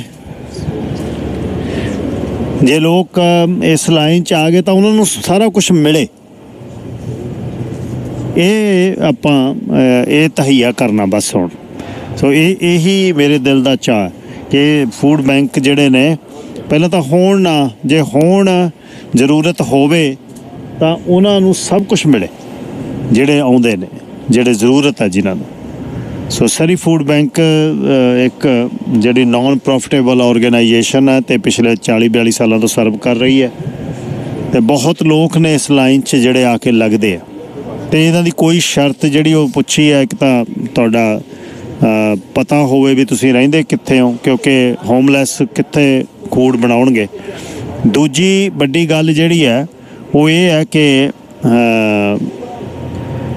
ਤੁਹਾਡੀ ਇੱਕ ਇਨਕਮ ਥ੍ਰੈਸ਼ਹੋਲਡ ਹੈ। ਉਹ ਥੋੜੀ ਜੀ ਰਿਕੁਆਇਰਮੈਂਟ ਹੋਏਗੀ, ਉਸ ਤੋਂ ਬਾਅਦ ਤੁਸੀਂ ਰਜਿਸਟਰ ਕਰਕੇ ਇੱਥੋਂ ਲੈ ਸਕਦੇ ਹੋ। ਸਟੂਡੈਂਟ ਬੱਚੀਆਂ ਮੈਂ ਵੇਖੀਆਂ, ਸਾਡੀਆਂ, ਉਹ ਆਈਆਂ ਹੋਈਆਂ ਸੀ। ਤੇ ਉਹਨਾਂ ਨੂੰ ਵੇਖ ਕੇ ਲੱਗੇ ਜਮਾਂ ਜਿਵੇਂ ਪੰਜਾਬ ਤੋਂ ਨਵੀਆਂ ਆਈਆਂ। ਤੇ ਉਹਨਾਂ ਨੂੰ ਮੁਸ਼ਕਲ ਜੇ ਆ, ਨਹੀਂ ਕੋਈ ਆਉਂਦਾ ਨਹੀਂ, ਇਹਨਾਂ ਲਾਈਨਾਂ 'ਚ ਲੱਗਣਾ ਬਹੁਤ ਔਖਾ ਹੈ। ਜਦ ਤੁਸੀਂ ਆ ਗਏ, ਤਾਂ ਫਿਰ ਉਸ ਦੀ ਜ਼ਰੂਰਤ ਪੂਰੀ ਹੋਵੇ। ਮਤਲਬ ਜਿਹੜਾ ਨਾ ਸੁੱਤੇ, ਨਾ ਕੱਤਿਆ ਜਿਹੜੀ ਗੱਲ ਆ, ਉਹ ਨਾ ਹੋ ਜਵੇ ਵੀ ਜੇ ਕੋਈ ਸਵਾਲੀ ਆਇਆ ਤਾਂ ਉਹ- ਉਹਦਾ ਸਵਾਲ ਪੂਰਾ ਹੋਵੇ ਬਸ। ਹੁਣ ਗੱਲ ਇਹ ਇਹ ਮਨ ਦੇ ਵਿੱਚ ਆ। ਸੋ ਜਿਹੜੇ ਕੈਂਡ ਆਈਟਮਸ ਨੇ, ਉਹ ਸਭ ਤੋਂ ਵੱਧ ਜ਼ਰੂਰਤ ਆ ਉਹਨਾਂ ਦੀ। ਕੈਨ ਦਾ ਜਿਹੜਾ ਖਾਣਾ, ਉਸ ਤੋਂ ਬਾਅਦ ਪਾਸਤਾ ਆਟਾ, ਚੌਲ ਕੁਕਿੰਗ ਆਇਲ ਤੇ ਤੇ ਤੇ ਉਹਦੇ ਚ ਵੱਧ ਤੋਂ ਵੱਧ ਆਪਾਂ ਡੋਨੇਟ ਕਰ ਸਕੇ ਮੀਟ, ਹਲਾਲ ਮੀਟ ਦੀ ਬਹੁਤ ਰਿਕੁਆਇਰਮੈਂਟ ਆ। ਜਿਹੜੀ ਉਹਨਾਂ ਨੇ ਦੱਸਿਆ। ਸਰਾਬਾ ਡਰਾਈਵਿੰਗ ਸਕੂਲ ਤੋਂ ਅਮਰਤ ਹੁਣੇ ਪਹੁੰਚੇ ਆ। ਧੰਨਵਾਦ ਹੈ। ਕੱਲ ਮੈਂ ਮੈਨੂੰ ਦੱਸਿਆ ਸੀ, ਕਹਿੰਦੇ ਜ਼ਰੂਰ ਖੁਦ ਡੋਨੇਟ ਕਰਨ ਆਵਾਂਗੇ। ਸੋ ਇਹੀ ਹੈ। ਅਹ ਚਾਰ ਤੁਸੀਂ ਨੇੜਿਓਂ ਅਹ ਕੋਸ਼ਿਸ਼ ਇਹ ਕਰੋ ਕਿ ਫੂਡ ਜਿਹੜੀਆਂ ਫੂਡ ਆਈਟਮਸ ਦੇ ਜਾਵੋ, ਨਹੀਂ ਤਾਂ ਜਿਹੜਾ ਨਹੀਂ ਸਮਾਂ ਮਿਲਦਾ ਤਾਂ ਕੋਸ਼ਿਸ਼ ਕਰੋ ਕਿ ਪੈਸੇ ਜਿਹੜੇ ਡਾਲਰ ਡੋਨੇਟ ਕਰ ਜੋ ਹੋ ਉਹ ਵੀ ਇਹਨਾਂ ਲਈ ਵਧੀਆ ਕਿ ਇਹਨਾਂ ਦੀ ਬਾਇੰਗ ਹੈ ਜਿਹੜੀ, ਇਹਨਾਂ ਲਈ ਖਾਸ ਜਿਹੜੀ ਆ ਉਹ ਰਿਆਇਤਾਂ ਤੇ ਮਿਲ ਸਕਦੀ ਹੈ ਸੋ ਬਾਹਰ ਬਿਨ ਲੱਗਿਆ ਹੋਇਆ ਤੇ ਵਲੰਟੀਅਰ ਵੀ, ਇੱਕ ਇਹ ਆ ਵੀ ਇਹਨਾਂ ਦੀ ਵਲੰਟੀਅਰ ਟੀਮ ਨੂੰ ਵੀ ਜੁਆਇਨ ਕਰਨਾ। ਇੱਥੇ ਹਰ ਹਫ਼ਤੇ ਆ ਕੇ 5-4 ਘੰਟੇ 2 ਘੰਟੇ ਕੰਮ ਕਰਕੇ ਜ਼ਰੂਰ ਦੇਖੇ, ਮਹਿਸੂਸ ਕਰੇ ਵੀ ਕੀ ਕੀ ਕਰ ਸਕੇ। ਬਹੁਤ ਵਧੀਆ ਫੈਮਿਲੀ ਐਟਮੋਸਫੀਅਰ ਆ ਅੰਦਰ ਜਿਵੇਂ ਹਮੇਸ਼ ਗੱਲ ਕਰਕੇ ਗਿਆ ਸੀ, ਬਈ ਅਸੀਂ ਉਹ ਇੱਥੇ ਦਾ ਜੰਪਾਲ ਮੁੰਡਾ ਤੇ ਚੀਮ ਜਾ ਕੇ ਚੰਡੀਗੜ੍ਹ ਪੜ੍ਹ ਕੇ ਆਇਆ ਤੇ ਹੁਣ ਉਹ ਉਹ ਕਹਿੰਦਾ, ਮੈਂ ਜਦ ਸਮਾਂ ਮਿਲਦਾ, ਮੇਰੇ ਸਭ ਤੋਂ ਖੁਸ਼ੀ ਦੇ ਪਲ ਨੇ ਜਦ ਇੱਥੇ ਸਰਵ ਕਰਦਾ ਆ ਤੇ ਇੱਥੇ ਇੱਕ ਅਲੱਗ ਹੀ ਤਜਰਬਾ ਜਦ ਤੁਸੀਂ ਆਓਗੇ, ਤੁਸੀਂ ਦੇਖੋਗੇ ਕਿ ਲੋਕ ਆ ਰਹੇ ਨੇ। ਅੰਮ੍ਰਿਤ ਦਾ ਧੰਨਵਾਦ ਹੈ। ਬਹੁਤ ਸਰਾਬਾ ਡਰਾਈਵਿੰਗ ਸਕੂਲ ਤੋਂ ਬਹੁਤ ਸਮਾਨ ਮੁੰਡਾ ਲੈ ਕੇ ਆਇਆ ਤੇ ਚੰਗਾ ਲੱਗਿਆ ਵੀ ਤੁਸੀਂ ਸਾਡੀ ਬੇਨਤੀ ਨੂੰ ਸੁਣਦੇ ਹੋ ਤੇ ਆਉਂਦੇ ਹੋ। ਤੇ ਅਹ, ਇਸੇ ਤਰ੍ਹਾਂ ਹੀ ਆਥਣੇ 5 ਵਜੇ ਤੱਕ ਆਉਂਦੇ ਰਹੋ ਗੱਲਾਂ ਬਾਤਾਂ ਜਿਹੜੀਆਂ ਕਰਦੇ ਰਹੋ। ਸੁਖੀ ਜੀ ਮੇਰੇ ਤੋਂ ਬਾਅਦ ਤੁਹਾਡੀ ਸੇਵਾ 'ਚ ਹਾਜ਼ਰ ਹੋਣਗੇ। ਫਿਰ ਡਾਕਟਰ ਰਮਾਣਾ ਵੀ ਇੱਥੇ ਹੀ 5 ਵਜੇ ਤੱਕ ਅੱਜ ਇਹ ਲਾਈਵ ਔਨ ਲੋਕੇਸ਼ਨ ਹੋਣੀ ਹੈ ਤੇ ਆਓ ਜੀ, ਅਮਰਤ ਨਾਲ ਗੱਲ ਕਰਦੇ ਹਾਂ। ਅਮਰਤ, ਧੰਨਵਾਦ, ਬਹੁਤ ਬਹੁਤ ਸਤਿ ਸ੍ਰੀ ਅਕਾਲ। ਸਤਿ ਸ੍ਰੀ ਅਕਾਲ ਗਿੱਲ ਸਾਹਿਬ, ਤੁਹਾਨੂੰ ਤੇ ਤੁਹਾਡੇ ਸਾਰੇ ਸਰੋਤਿਆਂ ਨੂੰ ਪਿਆਰ ਭਰੀ ਸਤਿ ਸ੍ਰੀ ਅਕਾਲ ਜੀ। ਅਮਰਤ ਹੁਣੀ ਸਰਾਬਾ ਡਰਾਈਵਿੰਗ ਸਕੂਲ ਚਲਾਉਂਦੇ ਆ, ਬੜਾ ਨੋਨ ਡਰਾਈਵਿੰਗ ਸਕੂਲ ਆ। ਲੈਂਗਲੀ ਦੇ ਵਿੱਚ ਤੁਸੀਂ ਦੇਖੋਗੇ ਜਦ ਗਲੋਬਰ ਤੇ ਜਾਂਦੇ ਹੋ, ਖੱਬੇ ਬੰਨੇ ਟਰੱਕ ਖੜੇ ਹੁੰਦੇ ਨੇ ਮੁੰਡੇ, ਬਹੁਤ ਪ੍ਰੋਫੈਸ਼ਨਲ ਟ੍ਰੇਨਡ ਕਰਦੇ ਆ ਮੁੰਡਿਆਂ ਨੂੰ। ਤੇ ਕੱਲ, ਪਿਛਲੇ ਦਿਨੀ ਜਦ ਅਸੀਂ ਬਲੱਡ ਡੋਨੇਸ਼ਨ ਦੀ ਵੀ ਗੱਲ ਕੀਤੀ ਬਲੱਡ ਡੋਨੇਸ਼ਨ ਤੋਂ ਲਾਈਵ ਔਨ ਲੋਕੇਸ਼ਨ ਕੀਤੀ, ਜਦ ਵੀ ਅਮਰਤ ਆਪ ਆ ਕੇ ਗਏ, ਤੇ ਅੱਜ ਫੇਰ। ਅੱਜ ਸਵੇਰ ਦੇ ਅੰਮ੍ਰਿਤ ਇੱਥੇ ਲਾਈਨਾਂ ਲੱਗੀਆਂ ਨੇ, ਮੈਂ ਹੈਰਾਨ ਹੋ ਗਿਆ ਵੀ ਯਾਰ, ਇਸ ਤਰ੍ਹਾਂ ਵੀ ਹੈ ਵੀ ਲੋਕਾਂ ਦੇ ਘਰਾਂ 'ਚ ਖਾਣਾ ਹੈ ਨਹੀਂ। ਹਾਂਜੀ। ਹਮ। ਤੇ ਤੁਸੀਂ ਇਹਦੇ 'ਚ ਹਿੱਸਾ ਪਾਇਆ ਧੰਨਵਾਦ ਬਹੁਤ ਬਹੁਤ। ਕੀ ਕਹਿਣਾ ਚਾਹੁੰਦੇ ਸੁਣਨ ਵਾਲਿਆਂ ਨੂੰ? ਸੁਣਨ ਵਾਲਿਆਂ ਨੂੰ ਇਹੀ ਕਹਿਣਾ ਚਾਹੁੰਦੇ ਆ ਜੀ ਦੇਖੋ ਹੁਣ ਸਾਰਿਆਂ ਨੂੰ ਪਤਾ ਆ ਵੀ ਕੈਨੇਡਾ ਦੇ ਵਿੱਚ ਇਨਫਲੇਸ਼ਨ ਬਹੁਤ ਜ਼ਿਆਦਾ ਹੋ ਗਈ ਆ ਜੀ। ਬਿਲਕੁਲ। ਮਹਿੰਗਾਈ ਬਹੁਤ ਜ਼ਿਆਦਾ ਹੋ ਗਈ ਆ। ਰੈਂਟ ਮਹਿੰਗੇ ਹੋ ਗਏ ਜੀ। ਜਿਹੜੇ ਘਰ ਓਨ ਕਰਦੇ ਆ ਘਰਾਂ ਦੀ ਮੌਰਗੇਜ ਵੱਧ ਗਈ ਆ। ਤੇ ਹੁਣ ਕਈ ਲੋਕ ਇਹੋ ਜਿਹੇ ਵੀ ਹੈਗੇ ਆ ਜਿਨ੍ਹਾਂ ਕੋਲ ਜਿਵੇਂ ਆਪਾਂ ਕਹਿੰਦੇ ਹੁੰਨੇ ਆ ਵੀ ਰੂਫ ਚਾਹੀਦੀ ਆ ਬੰਦੇ ਨੂੰ ਜੀ ਕੱਪੜਾ ਚਾਹੀਦਾ ਆ। ਤੇ ਕੰਮ ਚਾਹੀਦਾ ਮਾੜਾ ਮੋਟਾ ਕਰਨ ਨੂੰ ਤਾਂ ਕਿ ਬੰਦਾ ਸਰਵਾਈਵ ਕਰ ਸਕੇ, ਜਿਹੜੀਆਂ ਬੇਸਿਕ ਨੀਡ ਹੈਗੀਆਂ ਬੇਸਿਕ ਨੀਡਸ ਹੈ ਬਿਲਕੁਲ। ਤੇ ਹੁਣ ਜਿਵੇਂ ਆਪਾਂ ਸਿੱਖ ਧਰਮ ਨੂੰ ਬਿਲੋਂਗ ਕਰਦੇ ਆਂ ਜੀ ਗੁਰੂ ਨਾਨਕ ਦੇਵ ਜੀ ਨੇ ਵੀ ਸਿਖਾਇਆ 13 13 ਤੋਲਿਆ ਵੀ ਜਿੰਨਾ ਕੁ ਵੀ ਆਪਾਂ ਜ਼ਰੂਰੀ ਨਹੀਂ ਕਹਿੰਦੇ ਵੀ ਤੁਸੀਂ 1000 ਡਾਲਰ ਡੋਨੇਟ ਕਰੋ 5 10 20 50 ਜਿੰਨਾ ਵੀ ਕਰ ਸਕਦੇ ਆ। ਆਪਣਾ ਫਰਜ਼ ਬਣਦਾ as a good Canadian citizen as ਕਿਸੇ ਵੀ ਤਰੀਕੇ ਨਾਲ ਆਪਾਂ ਕੈਨੇਡਾ 'ਚ ਰਹਿ ਰਹੇ ਆ ਆਪਾਂ ਨੂੰ ਦੂਜੀਆਂ ਕਮਿਊਨਿਟੀ ਦੀ ਵੀ ਹੈਲਪ ਕਰਨੀ ਚਾਹੀਦੀ ਆ। ਕਿਉਂਕਿ ਜਿਹਦੇ ਨਾਲ ਆਪਣੇ ਮਨ ਨੂੰ ਸਕੂਨ ਮਿਲੇ ਸ਼ਾਂਤੀ ਮਿਲੇ ਵੀ ਹਾਂ ਅਸੀਂ ਕੁਝ ਗੁੱਡ ਕਾਜ਼ ਕਰਕੇ ਆਏ ਆ ਗੁੱਡ ਕਰਕੇ ਆਏ ਆ ਬਿਲਕੁਲ ਤੇ ਸਾਰੇ ਸਰੋਤਿਆਂ ਨੂੰ ਇਹੀ ਕਹਿਣਾ ਚਾਹੁੰਦੇ ਆ ਜੀ ਬਈ ਤੁਸੀਂ ਆਓ ਉਰੇ ਗਿੱਲ ਸਾਹਿਬ ਹੁਣੀ ਰੇਡੀਓ ਲਾਈਵ ਚੱਲ ਰਿਹਾ ਜੀ 5 ਵਜੇ ਤੱਕ ਚੱਲਣਾ ਹੈ ਅੱਜ ਸਰੀ ਫੂਡ ਬੈਂਕ ਦੇ ਵਿੱਚ। ਤੇ ਜੋ ਵੀ ਤੁਹਾਤੋਂ ਸਰਦਾ ਪਹੁੰਚਦਾ ਜੋ ਵੀ ਤੁਸੀਂ ਡੋਨੇਟ ਕਰਨੇ ਆ ਆਪਣੇ ਡਾਈਪਰਸ ਡੋਨੇਟ ਕਰੋ ਚਿਪਸ ਕਰੋ ਸੀਰੀਅਲਸ ਕਰੋ ਬੱਚਿਆਂ ਦਾ ਬੇਬੀ ਫੂਡ ਕਰੋ। ਇਹੋ ਜਿਹੀਆਂ ਕੁਝ ਵੀ ਚੀਜ਼ਾਂ ਤੁਸੀਂ ਕਿਤੇ ਵੀ ਸਟੋਰ ਤੋਂ ਲੈ ਸਕਦੇ ਹੋ ਕਿਤੇ ਕੋਈ ਗੁੱਡ ਡੀਲ ਹੈਗੀ ਆ ਚਾਹੇ ਤੁਸੀਂ ਦੋ ਡੱਬੇ ਸੀਰੀਅਲ ਦੇ ਲੈ ਕੇ ਆਓ ਲੈ ਕੇ ਜਰੂਰ ਆਓ ਉਰੇ ਆ ਕੇ ਟੀਮ ਨੂੰ ਸ਼ੇਰੇ ਪੰਜਾਬ ਦੀ ਨੂੰ ਮਿਲ ਕੇ ਜਾਓ ਗਿੱਲ ਸਾਹਿਬ ਨੂੰ ਮਿਲ ਕੇ ਜਾਓ ਤੇ ਤੁਹਾਨੂੰ ਆਪਦੇ ਆਪ ਨੂੰ ਬਹੁਤ ਉਤਸ਼ਾਹਤ ਲੱਗੂਗਾ ਵੀ ਯਾਰ ਅਸੀਂ ਕੁਝ ਕਰੀਏ ਅਸੀਂ ਕੁਝ ਗੁੱਡ ਕਾਜ਼ ਕਰਕੇ ਆਏ ਆ। ਇਹੀ ਮੈਂ ਕਹਿਣਾ ਚਾਹੁੰਦਾ ਸਰੋਤਿਆਂ ਨੂੰ ਗਿੱਲ ਸਾਹਿਬ। ਧੰਨਵਾਦ ਬਹੁਤ ਬਹੁਤ ਅਮਰਤ। ਤੇ ਡਰਾਈਵਿੰਗ ਸਕੂਲ ਵਧੀਆ ਚੱਲ ਰਿਹਾ? ਹਾਂਜੀ ਬਹੁਤ ਵਧੀਆ ਜੀ ਪ੍ਰਮਾਤਮਾ ਦੀ ਕਿਰਪਾ ਜੀ ਬਹੁਤ ਵਧੀਆ ਜੀ। ਹੂੰ। ਬੀਜ਼ੀ ਹੁੰਨੇ ਆ ਜੀ ਕੰਮ ਕਰੀਦਾ ਵਧੀਆ ਸਿਖਾਈ ਦਾ ਕਿਉਂਕਿ ਐਜ਼ ਅ ਡਰਾਈਵਿੰਗ ਸਕੂਲ ਵੀ ਅਸੀਂ ਸੋਚਦੇ ਆਂ ਵੀ ਦੇਖੋ ਮੋਸਟਲੀ ਆਪਣੀ ਕਮਿਊਨਿਟੀ ਵਾਲੇ ਡਰਾਈਵਰ ਹੈਗੇ ਆ ਜੀ ਸਾਰੇ ਡਰਾਈਵਰ ਵਧੀਆ ਟ੍ਰੇਨਿੰਗ ਲੈਣ ਇਹ ਨਹੀਂ ਕਹਿੰਦੇ ਸਾਤੋਂ ਲੈਣ ਜਿੱਥੋਂ ਮਰਜ਼ੀ ਲੈਣ ਜੀ। ਵਧੀਆ ਟ੍ਰੇਨਿੰਗ ਹੋਵੇ ਤਾਂ ਕਿ ਤੁਸੀਂ ਰੋਡ ਦੇ ਉੱਤੇ ਸੇਫ ਰਹੋ ਆਪ ਸੇਫ ਰਹੋ ਤੇ ਦੂਜਿਆਂ ਨੂੰ ਸੇਫ ਰੱਖ ਸਕੋ ਜੀ। ਇਹੀ ਆਪਣਾ ਮੇਨ ਮੋਟਿਵ ਹੈਗਾ ਜੀ ਐਜ ਤੁਹਾਨੂੰ ਪਤਾ ਹੀ ਆ ਵੀ ਸਰਾਬੇ ਪਿੰਡ ਤੋਂ ਬਿਲੋਂਗ ਕਰਦੇ ਆ ਬਿਲਕੁਲ, ਬਿਲਕੁਲ। ਆਪਣੇ ਵਿੱਚ ਉਹ ਜਜ਼ਬਾ ਹੈਗਾ ਆ ਜੀ ਬਿਲਕੁਲ ਠੀਕ। ਬਈ ਸੇਵਾ ਕਰਨੀ ਹੈ ਤਾਂ ਦਿਲੋਂ ਕਰਨੀ ਹੈ ਜੀ ਤੇ ਬਾਕੀਆਂ ਨਾਲ ਨਾਲ ਜੋੜ ਕੇ ਕਰਨੀ ਹੈ ਜੀ ਵੀ ਕੁਛ ਨਾ ਕੁਛ ਆਪਾਂ ਵਧੀਆ ਕਰੇ ਕਮਿਊਨਿਟੀ ਨੂੰ ਹੋਰ ਉੱਪਰ ਲੈ ਕੇ ਜਾਈਏ। ਜੇ ਕੋਈ ਵੀ ਬੰਦਾ ਕਮਿਊਨਿਟੀ ਦਾ ਵਧੀਆ ਕੰਮ ਕਰਦਾ ਆ ਤਾਂ ਆਪਾਂ ਨੂੰ ਬਹੁਤ ਖੁਸ਼ੀ ਹੁੰਦੀ ਆ ਵੀ ਵਧੀਆ ਕੌਜ਼ ਕਰ ਰਹੇ ਹੋ। ਤੇ। ਤਾਂ ਹੀ ਤੁਸੀਂ ਗੱਲ ਸਾਹਿਬ ਰੋਜ਼ ਲੱਗੇ ਰਹਿੰਦੇ ਹੋ ਜੀ ਸੱਤੇ ਦਿਨ। ਕਮਿਊਨਿਟੀ ਨੂੰ ਦੱਸਦੇ ਹੋ ਵੀ ਕੀ ਗੁੱਡ ਆ ਕੀ ਬੈਡ ਆ ਕੀ ਕੀ ਕਰਨਾ ਚਾਹੀਦਾ। ਤੇ ਤੁਹਾਨੂੰ ਵੀ ਦਿਲੋਂ ਸਲੂਟ ਆ ਗੱਲ ਸਾਹਿਬ। ਧੰਨਵਾਦ ਜੀ ਬਹੁਤ ਵੱਡਾ ਨਾਂ ਹੈ ਸਰਦਾਰ ਕਰਤਾਰ ਸਿੰਘ ਸਰਾਭੇ ਦਾ। ਯੋਧਿਆਂ ਨੇ ਚੜ੍ਹਦੀ ਵਰੇਸ ਦੇ ਵਿੱਚ ਕਿੱਥੋਂ ਕਿੱਥੇ ਉਹ ਟਾਈਮ ਤੇ ਸੈਨ ਫਰਾਂਸਿਸਕੋ ਪਹੁੰਚੇ। ਜਦ ਮਤਲਬ ਉਸ ਸਮੇਂ ਮੁੜਦੇ ਨਾ ਮੁੜਦੇ ਤੇ ਅੱਜ ਕੀ ਕੀ ਅੰਪਾਇਰ ਹੁੰਦਾ ਤੇ ਚੜ੍ਹਦੀ ਉਮਰ ਦੇ ਵਿੱਚ ਜਹਾਜ਼, ਸਿੱਖ, ਉੱਡਣਾ ਸੱਪ ਬਾਬਾ ਪਖਨਾ ਉਹਨਾਂ ਨੂੰ ਕਹਿੰਦਾ ਰਿਹਾ ਤੇ ਕੀ ਕੁਛ 5 ਮਿੰਟਾਂ 'ਚ ਕਿਸੇ ਨਾਲ ਬੈਠੇ ਆ ਤੇ ਛਾਉਣੀ ਦਾ ਇੰਚਾਰਜ ਬੈਠਾ ਉਹ ਅਸਲੇ ਖਾਨੇ ਦੀਆਂ ਚਾਬੀਆਂ ਦੇ ਰਿਹਾ। ਕਹਿ ਜੀ ਕਨਵਿੰਸਿੰਗ ਪਾਵਰ ਉਹ ਇੱਕ ਲੱਤ ਹੋਰ ਹੈ, ਦੂਜੀ ਜਿਹੜੀ ਲੱਤ ਲੁਧਿਆਣੇ ਆ, ਤੀਜੀ ਲੱਤ ਅੰਬਾਲੇ ਆ, ਕਿਤੇ ਸਾਈਕਲ ਆ, ਕਿਤੇ ਰੇਲ ਆ। ਕਹਾਣੀ ਜਿਹੜੀ ਉਹਨਾਂ ਦੀ ਸਰਦਾਰ ਸਰਾਬੇ ਦੀ ਜ਼ਰੂਰ ਇੱਕ ਕਿਤਾਬ ਮੈਂ ਕਹਿਣਾ ਹੁੰਦਾ ਤੇ ਸ਼ਾਹਾਂ ਦਾ ਸ਼ਾਹ ਸਵਾਰ ਕਰਤਾਰ ਸਿੰਘ ਸਰਾਭਾ ਅਜਮੇਰ ਸਿੰਘ ਉਹਨਾਂ ਨੇ ਲਿਖੀ ਆ ਬਹੁਤ ਖੁੱਲ੍ਹ ਕੇ ਕਿਤਾਬ ਲਿਖੀ ਹੋਈ ਹੈ। ਤੇ ਉਹਨਾਂ ਦੇ ਪਿੰਡ ਤੋਂ ਨੇ ਸਰਾਭਾ ਡਰਾਈਵਿੰਗ ਸਕੂਲ ਤੋਂ ਅੰਮ੍ਰਿਤ ਗੱਲਬਾਤ ਕਰ ਰਹੇ ਸੀ ਤੇ ਉਹ ਡੋਨੇਟ ਕਰਨ ਆਏ ਨੇ। ਧੰਨਵਾਦ ਬਹੁਤ ਬਹੁਤ ਅੰਮ੍ਰਿਤ। ਥੈਂਕ ਯੂ ਜੀ ਗੱਲ ਸਾਹਿਬ ਬਹੁਤ ਬਹੁਤ ਧੰਨਵਾਦ। ਧੰਨਵਾਦ ਜੀ। ਤੇ ਮੇਰਾ ਸਮਾਂ ਹੁਣ ਸਮਾਪਤ ਹੁੰਦਾ ਜੀ ਤੇ ਇਸ ਤੋਂ ਬਾਅਦ ਖਬਰਾਂ ਖਬਰਾਂ ਤੋਂ ਬਾਅਦ ਫੇਰ ਸੁਖੀ ਜੀ ਤੁਹਾਡੀ ਸੇਵਾ ਦੇ ਵਿੱਚ ਹਾਜ਼ਰ ਹੋਣਗੇ ਤੇ ਤੁਸੀਂ ਕਿਤੇ ਵੀ ਹੋ ਆਲੇ ਦਾਲੇ ਤੇ ਜ਼ਰੂਰ ਆ ਕੇ ਮਿਲਿਓ ਤੇ ਆ ਕੇ ਗੱਲਬਾਤ ਕਰਕੇ ਜਾਇਓ ਤੇ ਸਾਰੇ ਤੇ ਸਰੀ ਫੂਡ ਬੈਂਕ ਨੂੰ ਡੋਨੇਟ ਆਪਾਂ ਕਰਨਾ। ਤੇ ਮੇਰੀ ਤੋਂ ਬਾਅਦ ਸੁਖੀ ਜੀ ਤੁਹਾਡੀ ਸੇਵਾ 'ਚ ਹਾਜ਼ਰ ਹੋਣਗੇ। ਸੋਮਵਾਰ ਨੂੰ ਤੁਹਾਡੀ ਸੇਵਾ ਦੇ ਵਿੱਚ ਮੈਂ ਫੇਰ ਅਹ, 10 ਵਜੇ ਸਟੂਡੀਓ ਦੇ ਵਿੱਚੋਂ ਹਾਜ਼ਰ ਹੋਵਾਂਗਾ। ਰੱਬ ਰੱਖਾ।